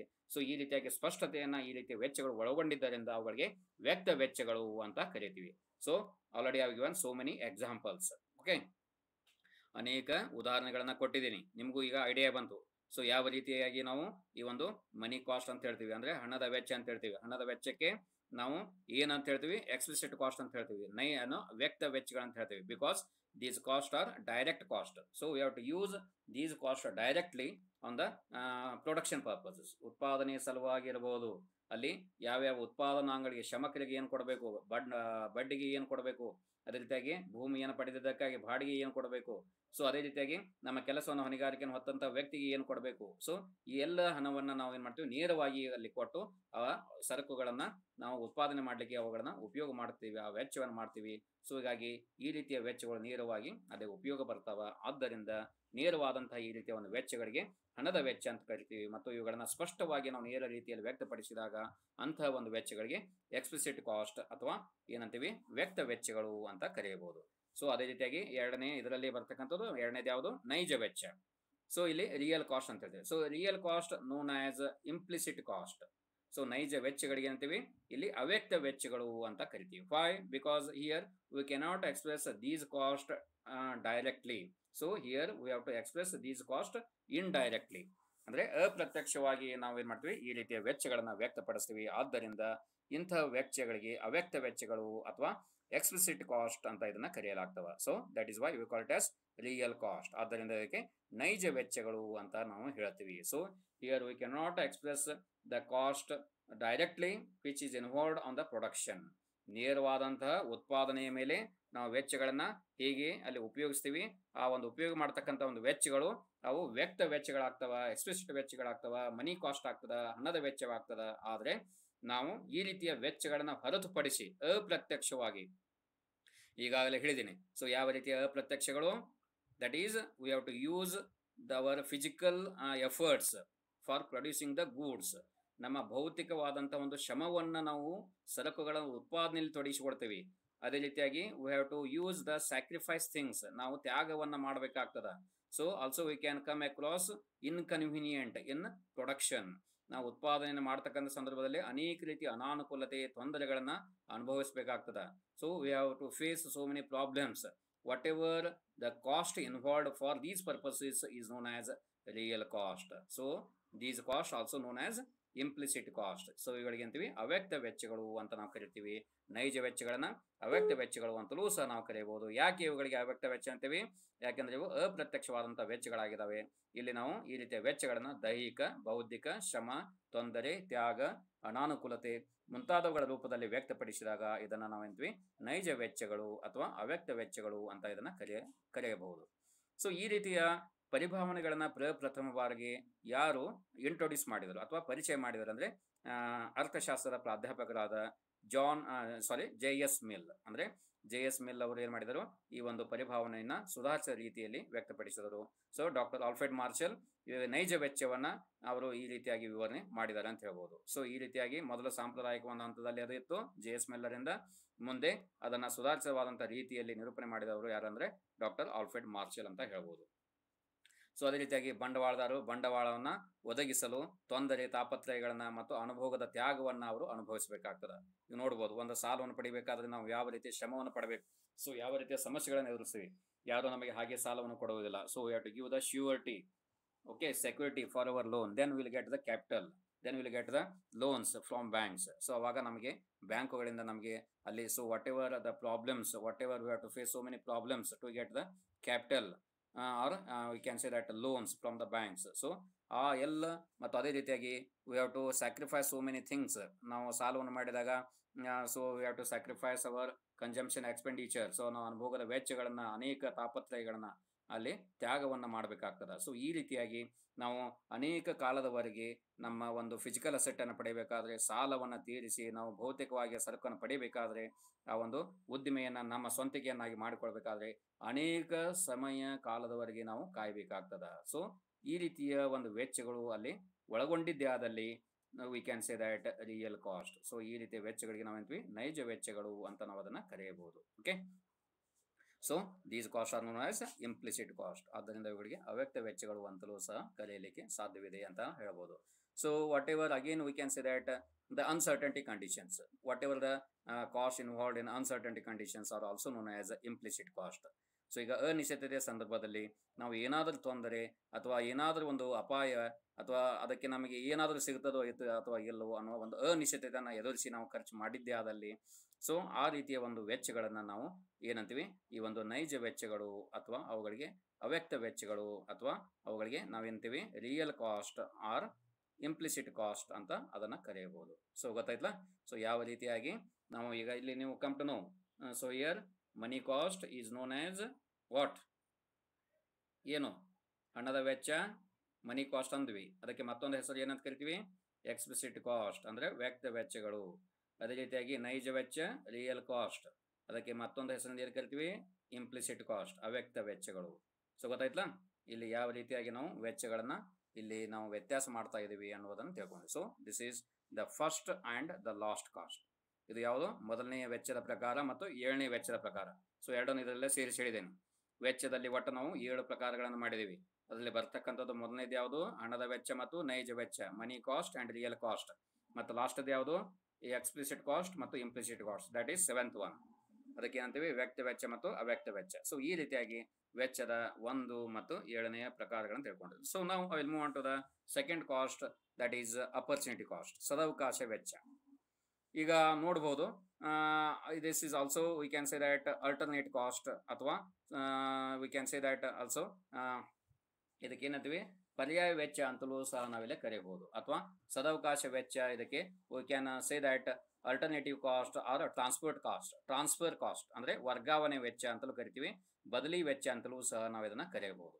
ಸೊ ಇಲ್ಲಿ ಸದಾವಕಾಶ ವೆಚ್ಚ, ಇಲ್ಲಿ ಅಂದ್ರೆ ಒಂದನ್ನ ಮತ್ತೊಂದರ ಸಲುವಾಗಿ ತ್ಯಾಗ ಮಾಡುವುದು ಅಂತ ಹೇಳ್ಬೋದು. ಒಂದನ್ನು ಬಿಟ್ಟು ಮತ್ತೊಂದು ಸರಕಿಗೆ ನಾವು ವೆಚ್ಚವನ್ನು ಮಾಡಿದ್ದೇ ಆದಲ್ಲಿ ಅದಕ್ಕೆ ಸದವಕಾಶ ವೆಚ್ಚ ಅಂತ ನಾವಿಲ್ಲಿ ಕರೆಯಬಹುದು so here the best example so ಈಗ ನಾವು ಏನ್ ಮಾಡ್ತೀವಿ? ವೆನ್ ನಾವು ಈಗ ಭತ್ತವನ್ನ ಬೆಳೆಯಬೇಕು ಅಂತ ಅದರ ಮೇಲೆ ಖರ್ಚು ಮಾಡಿದಾಗ ಅದಕ್ಕಿಂತ ನಮಗೆ ಹೆಚ್ಚು ಲಾಭವನ್ನು ತರ್ತಕ್ಕಂತಹ ಮತ್ತೊಂದು ಉತ್ಪಾದಕ ಸರಕು ಇರ್ತದೆ. ಆ ಅದನ್ನ ನಾವು ಉತ್ಪಾದನೆ ಮಾಡಿದರೆ ಅದರ ಮೇಲೆ ಕಡಿಮೆ ವೆಚ್ಚ ಹೆಚ್ಚು ಲಾಭದಾಯಕವನ್ನು ಮಾಡಿಕೊಳ್ಳಬಹುದು ಅದು ಗೋಧಿ ಇರಬಹುದು ಅಥವಾ ಇನ್ನಿತರ ಯಾವುದೇ ಒಂದು ಸರಕು ಇರಬಹುದು. ಸೊ ಭತ್ತ ಮತ್ತು ಗೋಧಿನ ತೆಗೆದುಕೊಳ್ತೀವಿ. ಸೊ ಯಾವುದು ನಮಗೆ ಹೆಚ್ಚಿದು ಲಾಭದಾಯಕವಾಗಿದೆ. ಸೊ ಈಗ ಒಂದನ್ನು ಬಿಟ್ಟು ಮತ್ತೊಂದನ್ನು ನಾವು ವೆಚ್ಚವನ್ನು ಮಾಡಿದ್ವಿ ಅದರಲ್ಲಿ ಅದಕ್ಕೆ ಅಲ್ಟರ್ನೇಟಿವ್ ಕಾಸ್ಟ್ ಅಂತ ಹೇಳ್ತೀವಿ ಅಥವಾ ಅದಕ್ಕೆ ಪರ್ಯಾಯ ವೆಚ್ಚ ಅಂತ ಕರಿತೀವಿ.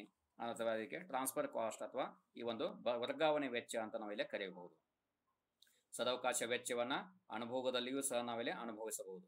ಸೊ ಈಗ ನಾವು ಇಪ್ಪತ್ತು ರೂಪಾಯಿಗಳೇ ಇದೆ ಅಂತ ಆ ಸರಕನ್ನ ನಾವೇನ್ ಮಾಡ್ತೀವಿ? ಹೋಟೆಲಿಗೆ ಹೋಗಿ ಆ ಇಪ್ಪತ್ತು ರೂಪಾಯಿನ ಉಪಯೋಗ ಮಾಡಿಕೊಂಡು ಅಲ್ಲಿ ಅನುಭೋಗ ಮಾಡಿದ್ದೆ ಅದಲ್ಲಿ ನಮ್ಮ ಹೊಟ್ಟೆಯನ್ನ, ಹೊಟ್ಟೆ ತುಂಬ ತಿಂದಿದ್ದೆ ಅದರಲ್ಲಿ ಅಥವಾ ಅದೇ ಇಪ್ಪತ್ತು ರೂಪಾಯಿನ ನಾವು ಪುಸ್ತಕವನ್ನು ತೆಗೆದುಕೊಂಡು ಜ್ಞಾನದ ಒಂದು ಊಟವನ್ನು ಮಾಡಿದ್ದೆ ಅದಲ್ಲಿ so here the whatever the cost is transferred from the hotel to the book is known as opportunity cost. So which is better for us? We have to think and we have to uh, incur we have to use that cost on uh, any uh, which is benefited for us. ಯಾವುದು ನಮಗೆ ಇಲ್ಲಿ ಹೆಚ್ಚು ಲಾಭದಾಯಕವಾಗ್ತದೋ ಅದರ ಮೇಲೆ ನಾವು ವೆಚ್ಚವನ್ನ ಮಾಡಬೇಕು. So that cost is known as opportunity cost ಅದರಿಂದ ಅದಕ್ಕೆ ಅಂತೀವಿ ಸದವಕಾಶ ವೆಚ್ಚ ಅಥವಾ ಅವಕಾಶ ವೆಚ್ಚ ಅಂತಲೂ ಸಹ ನಾವೆಲ್ಲ ಕರೆಯಬಹುದು. ಗೊತ್ತಾಯ್ತಾ?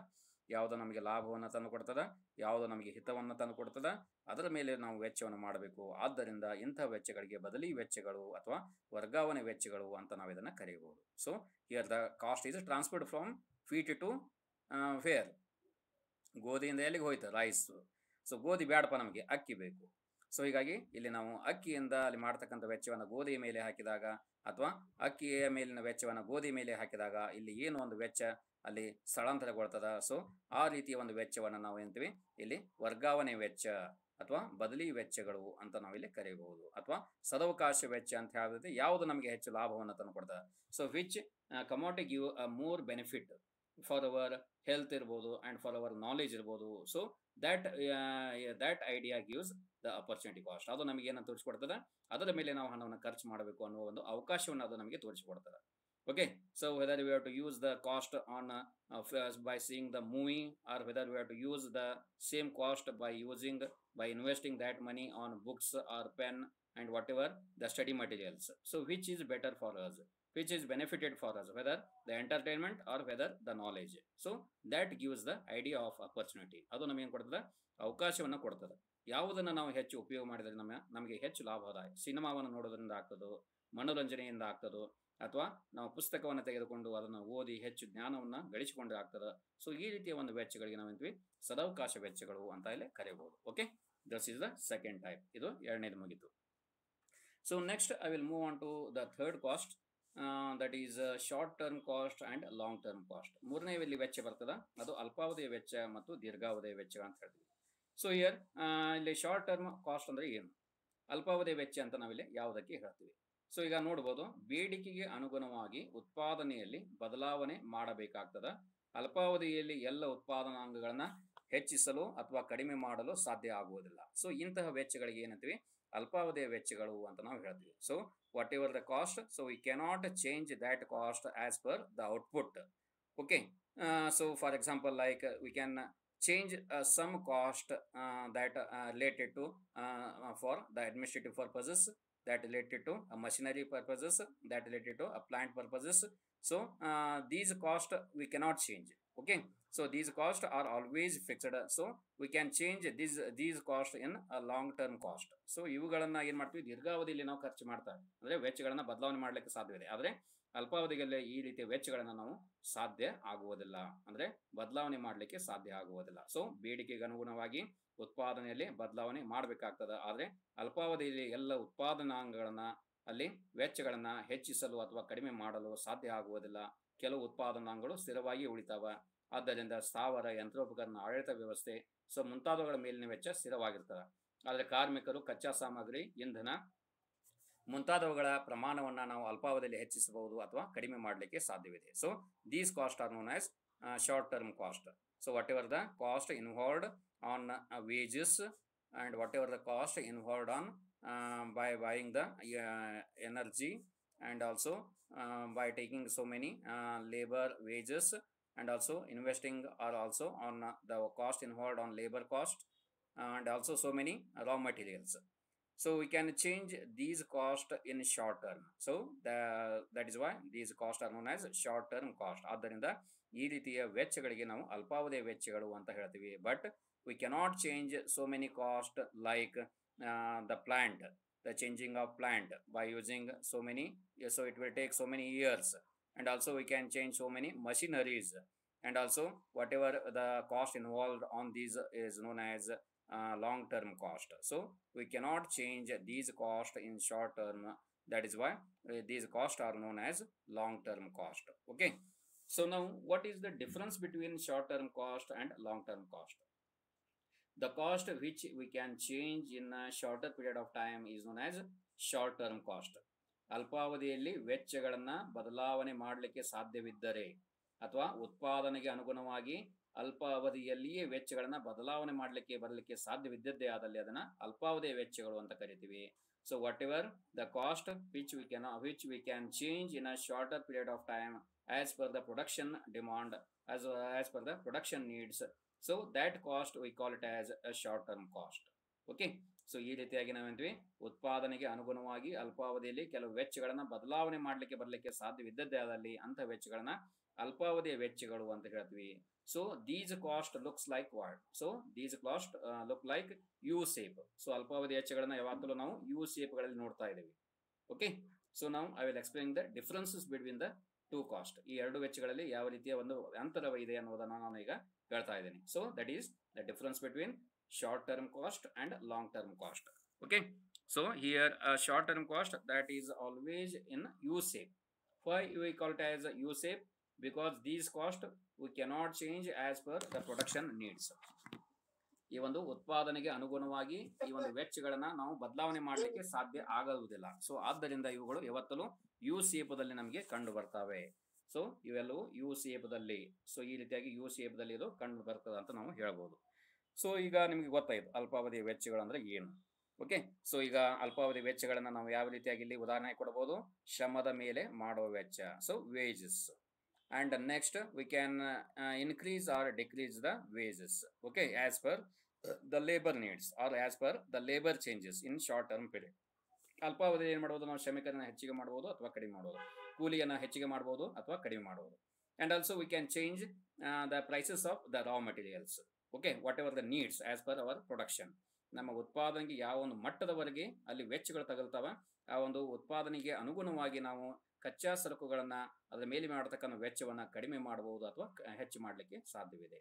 ಓಕೆ ಸೊ ಅದೇ ರೀತಿಯಾಗಿ ಮತ್ತೊಂದು ಮುಖ್ಯವಾದಂಥದ್ದು ನಾನು ಹೇಳ್ಬೋದು. ಇಲ್ಲಿ whatever the can say that ಇಂಧನ ಅಂತ ಹೇಳ್ತೀವಿ. Okay so here we can say that energy purposes so to run the machine machines so ಈಗ ಯಂತ್ರಗಳು ಹಾಗೆ ಅವು ಚಾಲಕ ಶಕ್ತಿ ಬೇಕಾಗ್ತದೆ. So here you to use a petrol or diesel or also we can use a electricity ವಿದ್ಯುತ್ ಶಕ್ತಿ ಬೇಕಾಗ್ತದ, ನಮಗೆ ಪೆಟ್ರೋಲ್ ಇರಬೇಕಾಗ್ತದ ಡಿಸೈಲ್ ಇರಬೇಕಾಗ್ತದ ಸೊ ಅವುಗಳನ್ನ ನಾವು ಇಲ್ಲಿ ಶಕ್ತಿಯ ಸಾಧನಗಳಂತೆ ಉಪಯೋಗ ಮಾಡ್ತೇವೆ. So that also whatever we can increase okay or we can decrease these type of cost so ಇವುಗಳ ಮೇಲೆ ಮಾಡ್ತಕ್ಕಂಥ ವೆಚ್ಚಗಳನ್ನ ನಾವು ಮಾಡಬಹುದು ಕಡಿಮೆ ಮಾಡಬಹುದು ಅಥವಾ ಹೆಚ್ಚಿಗೆ ಮಾಡಲಿಕ್ಕೆ ಸಾಧ್ಯವಿದೆ ಇದು ಅಲ್ಪಾವಧಿಯಲ್ಲಿ ಏನಾಗ್ತದೆ? ಬದಲಾವಣೆ ಆಗ್ತಾ ಹೋಗ್ತದೆ, ಉತ್ಪಾದನೆಗೆ ಅನುಗುಣವಾಗಿ. ಈಗ ಉತ್ಪಾದನೆ ಹೆಚ್ಚಿಗೆದಾಗ we need more diesel or petrol or more electricity for higher production in short term period and suppose suppose there is is no need for production so what we have to do? We have to reduce the energy levels ಅವಾಗ ನಾವು ಏನು ಮಾಡ್ತೀವಿ? ಶಕ್ತಿಯನ್ನು ಕಡಿಮೆ ಮಾಡ್ತಾ ಹೋಗ್ತೀವಿ. We have to use less and of electricity and also you can use less consumption of petrol or diesel so ಈ ರೀತಿಯಾಗಿ ಅಲ್ಲಿ ಉತ್ಪಾದನೆ ಕಡಿಮೆ ಇದ್ದಾಗ ಈ ರೀತಿಯ ಶಕ್ತಿ ಇಂಧನಗಳನ್ನು ಏನು ಮಾಡ್ತೀವಿ? ಕಡಿಮೆ ಮಾಡ್ತೀವಿ. ಸೊ ಈ ರೀತಿಯ ವೆಚ್ಚಗಳು ಏನಾಗ್ತವೆ ಅಲ್ಪಾವಧಿಯಲ್ಲಿ ಕಡಿಮೆ ಮಾಡಲಿಕ್ಕೆ ಸಾಧ್ಯವಿದೆ ಅಥವಾ ಹೆಚ್ಚು ಮಾಡಲಿಕ್ಕೂ ಸಹ ಸಾಧ್ಯವಿದೆ. ಸೊ ಹೀಗಾಗಿ ಉತ್ಪಾದನೆಗೆ ಅನುಗುಣವಾಗಿ ಬದಲಾಗತಕ್ಕಂಥ ವೆಚ್ಚಗಳು, ಆದ್ದರಿಂದ ಇವುಗಳಿಗೆ ಏನಂತೀವಿ? ಅಲ್ಪಾವಧಿಯ ವೆಚ್ಚಗಳು ಇವತ್ತಲೂ ಯು ಸೇಪದಲ್ಲಿ ಕಂಡು ಬರ್ತವೆ ಸೊ ನಾವು will move the next concept that is long term cost ದೀರ್ಘಾವಧಿಯ ವೆಚ್ಚಗಳು. ಸೊ ದೀರ್ಘಾವಧಿ ವೆಚ್ಚಗಳು you can see these cost are a flatten shape cost ಅಂದ್ರೆ ಇವೆಲ್ಲವೂ ಚಪ್ಪಟಿ ಆಕಾರದ ಒಂದು ರೀತಿಯಲ್ಲಿ ನಮಗೆ ಕಂಡು ಬರ್ತವೆ ಅಂದ್ರೆ ಫ್ಲಾಟನ್ ಸೇಪ್ ಓಕೆ ಗೊತ್ತಾಯ್ತಲ್ಲ? ಯು ಸೇಪ್ ಹೆಂಗಿದೆ ಮತ್ತು ಫ್ಲಾಟನ್ ಸೇಪ್ ಸೊ ಇಲ್ಲಿ ಚಪ್ಪಟಿ ಆಕಾರ ಅಂತ ಹೇಳ್ತೀವಿ. ಯು ಸೇಪು, ಅದು ಯಾವತ್ತಲೂ ಈ ರೀತಿಯಾಗಿರ್ತದ. ಓಕೆ ಯು ಗೊತ್ತಿದೆ ನಮ್ಗೆ. English word U. ಅದೇ ರೀತಿಯಾಗಿ ಫ್ಲಾಟರ್ನ್ ಸೇಪ್ ಚಪ್ಪಟಿ ಆಕಾರ ನಮಗೆ ಗೊತ್ತಿದೆ ಯಾವ ರೀತಿಯಾಗಿರ್ತದೆ ಅನ್ನೋದು. ಓಕೆ ಸೊ ಅದಕ್ಕೆ ಫ್ಲಾಟರ್ನ್ ಸೇಪ್ ಅಂತ ಹೇಳ್ತೀವಿ. ಸೊ ಈ ರೀತಿಯಾಗಿ ಅವು ಚಪ್ಪಟೆ ಆಕಾರದ ಒಂದು ರೂಪದಲ್ಲಿ ನಮಗೆ ಈ ಒಂದು ದೀರ್ಘಾವಧಿಯ ವೆಚ್ಚದ ರೇಖೆಗಳು ಅಲ್ಲಿ ನಮಗೆ ಕಂಡು ಬರ್ತಾವೆ ಅಂತ ಹೇಳ್ಬೋದು. So here we can change all the cost of production as per the demand needs or as per the production needs ಬೇಡಿಕೆಗೆ ಯಾವ ರೀತಿಯ ಒಂದು ಅಲ್ಲಿ ಉತ್ಪಾದನೆಗೆ ಅಲ್ಲಿ ಬೇಕಾಗ್ತದ, ಆ ಒಂದು ವೆಚ್ಚಗಳನ್ನು ನಾವು ಬದಲಾವಣೆ ಮಾಡಲಿಕ್ಕೆ ಎಲ್ಲ ಹಂತದಲ್ಲಿಯೂ ಸಾಧ್ಯವಿದೆ. So that is why we call it as long term cost ಆದ್ದರಿಂದ ಅಂತೀವಿ? ಅಲ್ಪಾವಧಿಯ ವೆಚ್ಚಗಳು ಅಂತ ಹೇಳ್ತೀವಿ. So here we can change all types of cost as per the production ದೀರ್ಘಾವಧಿಯಲ್ಲಿ ಎಲ್ಲ ರೀತಿಯ ವೆಚ್ಚಗಳನ್ನ ನಾವು ಏನ್ ಮಾಡಬಹುದು ಬದಲಾವಣೆ ಮಾಡಲಿಕ್ಕೆ ಸಾಧ್ಯವಿದೆ. ಆದ್ದರಿಂದ ಇವುಗಳಿಗೆ ದೀರ್ಘಾವಧಿಯ ವೆಚ್ಚಗಳು ಅಂತ ನಾವು ಇದನ್ನ ಕರೆಯಬಹುದು. ಅಲ್ಪಾವಧಿ ವೆಚ್ಚದಲ್ಲಿ ಏನಾಗ್ತದ? ಈ ರೀತಿಯ ಸಾಧ್ಯತೆಗಳು ಇರುವುದಿಲ್ಲ ಸೊ ಅಲ್ಲಿ ಅಲ್ಪ ಅವಧಿಗೆ ಸಂಬಂಧಪಟ್ಟಂತ ಮಾತ್ರ ವೆಚ್ಚಗಳನ್ನು ನಾವು ಅಲ್ಲಿ ಮಾಡ್ತಾ ಇದ್ದೇವೆ. ಆದ್ದರಿಂದ ಅದು ಯು ದಲ್ಲಿ ಕಂಡು ಬರ್ತದೆ. ಆದರೆ ದೀರ್ಘಾವಧಿಯ ಒಂದು ಇದರಲ್ಲಿ ನೋಡ್ತಾ ಇದೀವಿ ಎಲ್ಲ ರೀತಿಯ ವೆಚ್ಚಗಳನ್ನು ಬದಲಾವಣೆ ಮಾಡಲಿಕ್ಕೆ ಸಾಧ್ಯವಿದೆ. ಆದ್ದರಿಂದ ಇದು ಚಪ್ಪಟೆ ಆಕಾರದ ಒಂದು ಗಾತ್ರದಲ್ಲಿ ನಮಗೆ ಕಂಡು ಬರ್ತದೆ. So it looks like flatten shape flatter flatten shape cost okay ಚಪ್ಪಟೆ ಆಕಾರದ ಯು ಸೇಪನೆ ಮತ್ತೆ ನಾವು ಅಗಲಗಲಗೊಳಿಸಿದಾಗ ಏನಾಗ್ತದೆ? ಅದು ಫ್ಲಾಟರ್ನ್ ಶೇಪ್ ಆಗಿಬಿಡ್ತದೆ ಚಪ್ಪಟೆ ಆಕಾರ ಆಗಿಬಿಡ್ತದೆ ಸೊ ಈ ರೀತಿಯ ವೆಚ್ಚಗಳನ್ನ ನಾವು ಅಲ್ಲಿ ಬದಲಾವಣೆ ಮಾಡಲಿಕ್ಕೆ ಸಾಧ್ಯವಿದೆ so that is why we call it as long term cost ಕರ್ so these are the differences and these are the definitions explanation for short term and long term cost so ಈ ರೀತಿಯಾಗಿ ಇವುದು ಅಲ್ಪಾವಧಿ ವೆಚ್ಚ ಮತ್ತು ದೀರ್ಘಾವಧಿ ವೆಚ್ಚಗಳನ್ನು ವಿವರಣೆ ಮಾಡಿದ್ವಿ. ಸೊ ನಾವು next I move on to the fourth type that is fixed cost and variable cost ಸ್ಥಿರ ವೆಚ್ಚ ಮತ್ತು ಬದಲಾಗುವ ವೆಚ್ಚಗಳಿಗೆ ನಾನೀಗ ಹೋಗ್ತಾ ಇದ್ದೀನಿ. ಇದು ವೆಚ್ಚದ ನಾಲ್ಕನೆಯ ಪ್ರಮುಖ ಪ್ರಕಾರವಾಗಿದೆ. ಓಕೆ ಸ್ಥಿರ ವೆಚ್ಚ ಮತ್ತು ಬದಲಾಗುವ ವೆಚ್ಚ. ಸ್ಥಿರ ವೆಚ್ಚಕ್ಕೆ ಇಂಗ್ಲಿಷ್ ಒಳಗೆ ಏನಂತೀವಿ? ಫಿಕ್ಸ್ಡ್ ಕಾಸ್ಟ್ ಅಂತ ಹೇಳ್ತೀವಿ. ಬದಲಾಗುವ ವೆಚ್ಚಕ್ಕೆ ಏನಂತೀವಿ? ವೇರಿಯಬಲ್ ಕಾಸ್ಟ್ ಓಕೆ ಇದಕ್ಕೆ ನಾವು ಶಾರ್ಟ್ ಆಗಿ ಸ್ಥಿರ ವೆಚ್ಚಕ್ಕೆ ಎಫ್ ಸಿ ಅಂತ ಹೇಳ್ತೀವಿ. ಅಂದ್ರೆ ಎಫ್ ಅಂದ್ರೆ ಏನು? ಫಿಕ್ಸ್ಡ್ ಕಾಸ್ಟ್ ಅಂದ್ರೆ ಏನು? ವೆಚ್ಚ. ಅದೇ ರೀತಿಯಾಗಿ ಬದಲಾಗುವ ವೆಚ್ಚಕ್ಕೆ ಅಂತೀವಿ ಬದಲಾಗುವ ಅಂದ್ರೆ ವೇರಿಯಬಲ್ ಅದಕ್ಕೆ ಬದಲಾಗುವ ಅಂತ ಹೇಳ್ತೀವಿ. ಅದೇ ರೀತಿಯಾಗಿ ವೆಚ್ಚ ಕಾಸ್ಟ್ ಸೊ ಈ ರೀತಿಯಾಗಿ ಸ್ಥಿರ ವೆಚ್ಚ ಮತ್ತು ಬದಲಾಗುವ ವೆಚ್ಚ. ಇದು ವೆಚ್ಚದ ನಾಲ್ಕನೆಯ ಪ್ರಕಾರವಾಗಿದೆ. ಸೊ ಇಲ್ಲಿ ಪ್ರತಿಯೊಂದು ಉದ್ಯಮ ಸಂಸ್ಥೆಯು ವಿವಿಧ ಉತ್ಪಾದನಾಂಗಗಳನ್ನ ಉತ್ಪಾದನಾ ಕ್ರಿಯೆಯಲ್ಲಿ ಬಳಸ್ತಾ ಹೋಗ್ತದ. ಈ ಉತ್ಪಾದನಾಂಗಗಳನ್ನ ಮುಖ್ಯವಾಗಿ ನಾವು ಎರಡು ಪ್ರಕಾರಗಳಲ್ಲಿ ವಿಂಗಡಿಸಬಹುದು. ಸೊ ಇಲ್ಲಿ ಮೊದಲನೇದು ಯಾವುದು? ಸ್ಥಿರವಾದ ಉತ್ಪಾದನಾಂಗಗಳು ಮತ್ತು ಎರಡನೆಯದು ಬದಲಾಗುವ ಉತ್ಪಾದನಾಂಗಗಳು. ಸೊ ಈಗ ಸ್ಥಿರ ವೆಚ್ಚ ಅಂದ್ರೆ ಏನು? ಉತ್ಪಾದನೆಯೊಂದಿಗೆ ಬದಲಾಗದ ವೆಚ್ಚಗಳನ್ನು ಎಂದು ಕರಿತೀವಿ? ಸ್ಥಿರ ವೆಚ್ಚಗಳು ಅಂತ ಕರೆಯಲಾಗ್ತದ. So the cost which we cannot change as per the production is known as a fixed cost ಅಂದ್ರೆ ಉತ್ಪಾದನೆಯೊಂದಿಗೆ ಬದಲಾಗದ, ಬದಲಾಗುವಲ್ಲ, ಬದಲಾಗದ ವೆಚ್ಚಗಳನ್ನು ನಾವು ಸ್ಥಿರ ವೆಚ್ಚಗಳು ಅಂತ ಕರಿತೀವಿ. So the cost which cannot change as per the production is known as a fixed cost so ಈ ರೀತಿಯಾಗಿ ನಾವೆಂತದಕ್ಕೆ ಸ್ಥಿರ ವೆಚ್ಚಗಳು ಅಂತ ನಾವಿಲ್ಲಿ ಕರೆಯಬಹುದು. ಸೊ ಅದೇ ರೀತಿಯಾಗಿ ಇಲ್ಲಿ ಬದಲಾಗುವ ವೆಚ್ಚಗಳು ಅಂದ್ರೆ ಏನು? So the cost which changes as per the production is known as variable cost ಅಂದ್ರೆ ಬದಲಾಗುವ ವೆಚ್ಚಗಳು, ಉತ್ಪಾದನೆಯೊಂದಿಗೆ ವೆಚ್ಚಗಳು ಬದಲಾಗುತ್ತಿದ್ದರೆ ಅಂತ ವೆಚ್ಚಗಳನ್ನು ಬದಲಾಗುವ ವೆಚ್ಚಗಳು ಅಂತ ಕರೀತೀವಿ. ಸೊ ಇದಕ್ಕೆ ವೇರಿಯಬಲ್ ಕಾಸ್ಟ್ ಅಂತ ಇಲ್ಲೇ ಕರೆಯಬಹುದು ಸೊ ಈ ರೀತಿಯಾಗಿ ಈ ಒಂದು ಸ್ಥಿರ ವೆಚ್ಚ ಮತ್ತು ಬದಲಾಗುವ ವೆಚ್ಚಗಳ ಒಂದು ವಿವರಣೆಯನ್ನು ಇಲ್ಲಿ ಮಾಡಬಹುದು ಇಲ್ಲಿ ನೋಡ್ಬೋದು ಬದಲಾಗುವ ಉತ್ಪಾದನಾಂಗಗಳು, ಅದೇ ರೀತಿಯಾಗಿ ಯಂತ್ರೋಪಕರಣಗಳು ಮತ್ತು ಅದೇ ರೀತಿಯಾಗಿ ಜಮೀನು, ಕಾರ್ಖಾನೆ, ಕಟ್ಟಡ, ಕಾಯಂ ಸಿಬ್ಬಂದಿ ವರ್ಗ, ವಿದ್ಯುತ್ ಶಕ್ತಿ ವಿಮೆ ಮುಂತಾದ ಮೇಲೆ ಮಾಡತಕ್ಕಂಥ ಎಲ್ಲ ರೀತಿಯ ವೆಚ್ಚಗಳು ಅಲ್ಪಾವಧಿಯಲ್ಲಿ ಇವು ಸ್ಥಿರವಾಗಿರುತ್ತವೆ. ಆದರೆ ದೀರ್ಘಾವಧಿಯಲ್ಲಿ ಈ ಸ್ಥಿರ ವೆಚ್ಚಗಳನ್ನ ನಾವು ಅಲ್ಲಿ ಏನ್ ಮಾಡ್ಲಿಕ್ಕೆ ಸಾಧ್ಯವಿದೆ? ಬದಲಾವಣೆ ಮಾಡ್ಲಿಕ್ಕೆ ಸಾಧ್ಯವಿದೆ. ಆದರೆ ಅಲ್ಪಾವಧಿಯಲ್ಲಿ ಮಾಡ್ಲಿಕ್ಕೆ ಸಾಧ್ಯವಿಲ್ಲ. ಸೊ ಈ ರೀತಿಯಾಗಿ ನಾವು ಸ್ಥಿರ ಅವಧಿಯಲ್ಲಿ ಮಾಡ್ತಕ್ಕಂಥ ವೆಚ್ಚಗಳು ಅಲ್ಪಾವಧಿಯಲ್ಲಿ ಸ್ಥಿರವಾಗಿರ್ತವೆ. ಆದ್ದರಿಂದ ಇಂಥ ವೆಚ್ಚಗಳನ್ನ ಸ್ಥಿರ ವೆಚ್ಚಗಳು ಅಂತ ಕರೆಯಬಹುದು. ಇಲ್ಲಿ ಉತ್ಪಾದನೆಯೊಂದಿಗೆ ಈ ರೀತಿಯ ವೆಚ್ಚಗಳು ಅಲ್ಪಾವಧಿಯಲ್ಲಿ ಬದಲಾವಣೆ ಆಗುವುದಿಲ್ಲ. ಅದೇ ಇದೇ ರೀತಿಯ ವೆಚ್ಚಗಳನ್ನ ದೀರ್ಘಾವಧಿಯಲ್ಲಿ ತೆಗೆದುಕೊಂಡು ಉತ್ಪಾದನೆಯಲ್ಲಿ ತೊಡಗಿಸಿದಾಗ ಅಲ್ಲಿ ಈ ರೀತಿಯ ವೆಚ್ಚಗಳನ್ನ ಬದಲಾವಣೆ ಮಾಡಲಿಕ್ಕೆ ಸಾಧ್ಯವಿದೆ. ಆದ್ದರಿಂದ ಇಂಥ ವೆಚ್ಚಗಳನ್ನ ಬದಲಾಗುವ ವೆಚ್ಚಗಳು ಅಂತ ನಾವಿಲ್ಲಿ ಕರೆಯಬಹುದು. ಸೊ, ಈಗ ಬಂಡವಾಳ ವೆಚ್ಚ ಇರ್ಬೋದು, ಸಾಮಗ್ರಿಗಳಿರ್ಬೋದು, ಶ್ರಮ ಉತ್ಪಾದನೆ, ಅಲ್ಲಿ ಉಪಯೋಗಿಸುವ ಒಂದು ವಿದ್ಯುತ್ ಶಕ್ತಿ ಇರ್ಬೋದು, ಕಲ್ಲಿದ್ದಲು. ಸೊ ಮುಂತಾದವುಗಳ ಮೇಲೆ ಮಾಡುವ ವೆಚ್ಚಗಳು ಉತ್ಪಾದನೆಯೊಂದಿಗೆ ಬದಲಾಗುತ್ತವೆ. ಆದ್ದರಿಂದ ಇಂತಹ ವೆಚ್ಚಗಳನ್ನ ನಾವು ಬದಲಾಗುವ ವೆಚ್ಚ ಅಂತ ನಾವಿಲ್ಲಿ ಕರಿಬಹುದು so these cost are know as variable cost okay ಇಲ್ಲಿ ಎಕ್ಸಾಂಪಲ್ಸ್ ಹೇಳ್ರಿ ಯಾವ ಸ್ಥಿರ ವೆಚ್ಚಗಳಿಗೆ ಉದಾಹರಣೆ ಅಂತ ಹೇಳಿದಾಗ ಏನಂತ ಹೇಳ್ತೀವಿ? So you have to say fixed cost examples for fixed cost like what ಏನಂತ ಹೇಳ್ತಾರೆ? ಫ್ಯಾಕ್ಟರ್ಸ್ ಆಫ್ ಪ್ರೊಡಕ್ಷನ್ ಉತ್ಪಾದನಾಂಗಗಳ ಮೇಲೆ. Cost of factors of production ಉತ್ಪಾದನಾಂಗಗಳ ಮೇಲೆ ಮಾಡುವ ವೆಚ್ಚಗಳು ಅಂಡ್ ಕಾಸ್ಟ್ ಆನ್ ಮಷಿನರೀಸ್ ಯಂತ್ರೋಪಕರಣಗಳಲ್ಲಿ ಮಾಡುವ ವೆಚ್ಚಗಳು. ಅದೇ ರೀತಿಯಾಗಿ the cost on land okay ಭೂಮಿಯ ಮೇಲೆ ಮಾಡತಕ್ಕಂಥ ವೆಚ್ಚ ದ ಕಾಸ್ಟ್ ಆನ್ ಬಿಲ್ಡಿಂಗ್ಸ್ ಅಲ್ಲಿ ಕಟ್ಟಡಗಳ ಮೇಲೆ ಮಾಡತಕ್ಕಂಥ ವೆಚ್ಚ and the cost on the permanent employees ಕಾಯಂ ಸಿಬ್ಬಂದಿಗಳ ಮೇಲೆ ಮಾಡತಕ್ಕಂಥ ವೆಚ್ಚ and the cost on electricity ವಿದ್ಯುತ್ ಶಕ್ತಿಯ ಮೇಲೆ ಮಾಡತಕ್ಕಂಥ ವೆಚ್ಚ and the cost on insurance so all these cost are known as fixed cost okay so ಇವೆಲ್ಲವುಗಳಂತೀವಿ, ಸ್ಥಿರ ವೆಚ್ಚಗಳು ಅಂತ ಹೇಳ್ತೀವಿ. So we cannot change these cost as per the production so ಇವುಗಳನ್ನ ನಾವು ಅಲ್ಪಾವಧಿಯಲ್ಲಿ ಈ ರೀತಿಯ ವೆಚ್ಚಗಳನ್ನು ಬದಲಾವಣೆ ಮಾಡಲಿಕ್ಕೆ ಸಾಧ್ಯ ಆಗುವುದಿಲ್ಲ. ಆದ್ದರಿಂದ ಇಂಥವುಗಳನ್ನ ನಾವೇಂತೀವಿ ಸ್ಥಿರ ವೆಚ್ಚಗಳು ಅಂತ ಕರಿತೀವಿ. ಓಕೆ ಇನ್ನು ನೆಕ್ಸ್ಟ್ ಉದಾಹರಣೆಯಾಗಿ ಹೇಳ್ತೀನಿ ಬದಲಾಗುವ ವೆಚ್ಚಗಳು. ಬದಲಾಗುವ ವೆಚ್ಚಗಳಿಗೆ ಯಾವ ರೀತಿಯಾಗಿ ಉದಾಹರಣೆ ಕೊಡಬಹುದು so here the cost on capital ಬಂಡವಾಳದ ಮೇಲೆ ಮಾಡ್ತಕ್ಕಂಥ ವೆಚ್ಚಗಳು. And the cost on raw materials ಕಚ್ಚಾ ಸಾಮಗ್ರಿಗಳ ಮೇಲೆ ಮಾಡ್ತಕ್ಕಂಥ ವೆಚ್ಚಗಳು and the cost on labours ಶ್ರಮಗಳ ಮೇಲೆ ಮಾಡ್ತಕ್ಕಂಥ ವೆಚ್ಚಗಳು and the cost on electricity ಉತ್ಪಾದನೆಯ ಮೇಲೆ ಮಾಡ್ತಕ್ಕಂಥ, ವಿದ್ಯುತ್ ಶಕ್ತಿಯ ಮೇಲೆ ಮಾಡ್ತಕ್ಕಂಥ ವೆಚ್ಚಗಳು ಅಂಡ್ ದ ಕಾಸ್ಟ್ ಆನ್ ಕೋಲ್ ಕಲ್ಲಿದ್ದಲನ್ನು ಖರೀದಿ ಮಾಡಿದ ಮೇಲೆ ಮಾಡ್ತಕ್ಕಂಥ ವೆಚ್ಚಗಳು.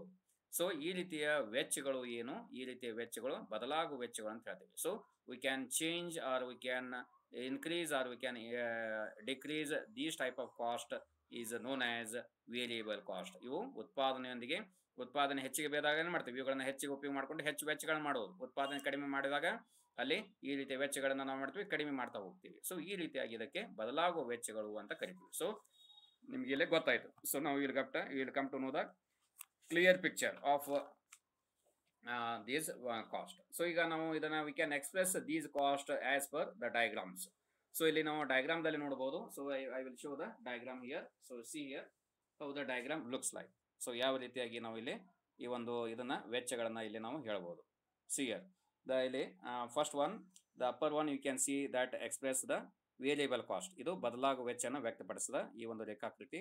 ಅದೇ ರೀತಿಯಾಗಿ ಕೆಳಗಿನ ಒಂದು ರೇಖಾಕೃತಿ ಏನು ತೋರಿಸ್ತದ? That express the fixed cost ಇದು ಸ್ಥಿರ ವೆಚ್ಚವನ್ನು ತೋರಿಸದ so whatever the this line we can see that the price line ಅಂದ್ರೆ ಬೆಲೆ ರೇಖೆ ಅಂತಿದೆ so this vertical axis represents the prices whereas these horizontal axis represents the quantity of production ಈ ಒಂದು ತಲಾಕ್ಷ ಏನನ್ನ ವ್ಯಕ್ತಪಡಿಸದ ತಲಾಕ್ಷವು ಉತ್ಪಾದನಾಂಗಗಳ ಪ್ರಮಾಣವನ್ನು ವ್ಯಕ್ತಪಡಿಸದ ಅದೇ ರೀತಿಯಾಗಿ ವರ್ಟಿಕಲ್ ಆಕ್ಸಸ್ ಏನನ್ನ ವ್ಯಕ್ತಪಡಿಸದ ಲಂಬಾಕ್ಷ, ಇದು ಬೆಲೆಯನ್ನ ವ್ಯಕ್ತಪಡಿಸದ ಸೊ ಹೀಗಾಗಿ ಈ ನಡುವಿನ ಒಂದು ರೇಖೆ ಹೋಗಿದ್ರೆ ಈ ಒಂದು ರೇಖೆಗೆ ಅಂತೀವಿ ಬೆಲೆ ರೇಖೆ ಅಂತ ಹೇಳ್ತೀವಿ. ಸೊ ಹೀಗಾಗಿ ಇಲ್ಲಿ ಬೆಲೆ ಇಲ್ಲಿ ಸ್ಥಿರವಾಗಿದೆ. ಆದ್ದರಿಂದ ಸೊ ಇಲ್ಲಿಂದ ಈ ಒಂದು ವೆಚ್ಚ ಏನಿದು?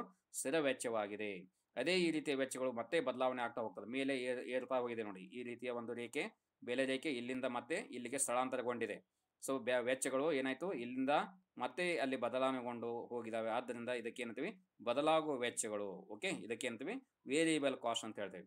ಸೊ ಇಲ್ಲಿ ಈ ರೇಖೆ ಇಲ್ಲಿಗೆ ಸ್ಟಾಪ್ ಆಗಿದೆ. ಈಗ ನೋಡಮ್ಮ ಕಾಣಿಸದ? ಓಕೆ ಹಾ ಇಲ್ಲಿ ತಲಾಕ್ಷ ಏನಿದೆ? ತಲಾಕ್ಷ ಉತ್ಪಾದನಾಂಗದ ಪ್ರಮಾಣವನ್ನ ಇದು ವ್ಯಕ್ತಪಡಿಸ್ತದ. Okay that is we called as horizontal axis horizontal axis represents ಏನು ಕ್ವಾಂಟಿಟಿ ಆಫ್ ಪ್ರೊಡಕ್ಷನ್ ಉತ್ಪಾದನಾಂಗದ ಪ್ರಮಾಣವನ್ನು ವ್ಯಕ್ತಪಡಿಸದ ವರ್ಟಿಕಲ್ ಆಕ್ಸಿಸ್ ಇದು ಏನು ತೋರಿಸದ? ಲಂಬಾಕ್ಷ ಬೆಲೆಯನ್ನು ವ್ಯಕ್ತಪಡಿಸದ. ನಡು ಒಂದು ರೇಖೆ, ಸಮ ಒಂದು, ಸಮಾಂತರ ಒಂದು ರೇಖೆ ಹೋಗಿದೆ ನೋಡಿ. ಸೊ ಬೆಲೆ ರೇಖೆ ಅದು. ಓಕೆ ಅಲ್ಲಿ ಏನಾಗಿದೆ? ಸ್ಥಿರ ವೆಚ್ಚವನ್ನ ಇಲ್ಲಿಂದ ಇಲ್ಲಿವರೆಗೆ ನಾವು ನೋಡ್ತಾ ಇದೀವಿ ಸೊ ಇದೇನು ಬದಲಾಗುವುದಿಲ್ಲ ವೆಚ್ಚಗಳು. ಉತ್ಪಾದನೆಯೊಂದಿಗೆ ಬದಲಾಗದೆ ಇರುವುದನ್ನ ನಾವು ನೋ- ನೋಡ್ತಾ ಇದೀವಿ ಆದ್ದರಿಂದ ಇದಕ್ಕೆ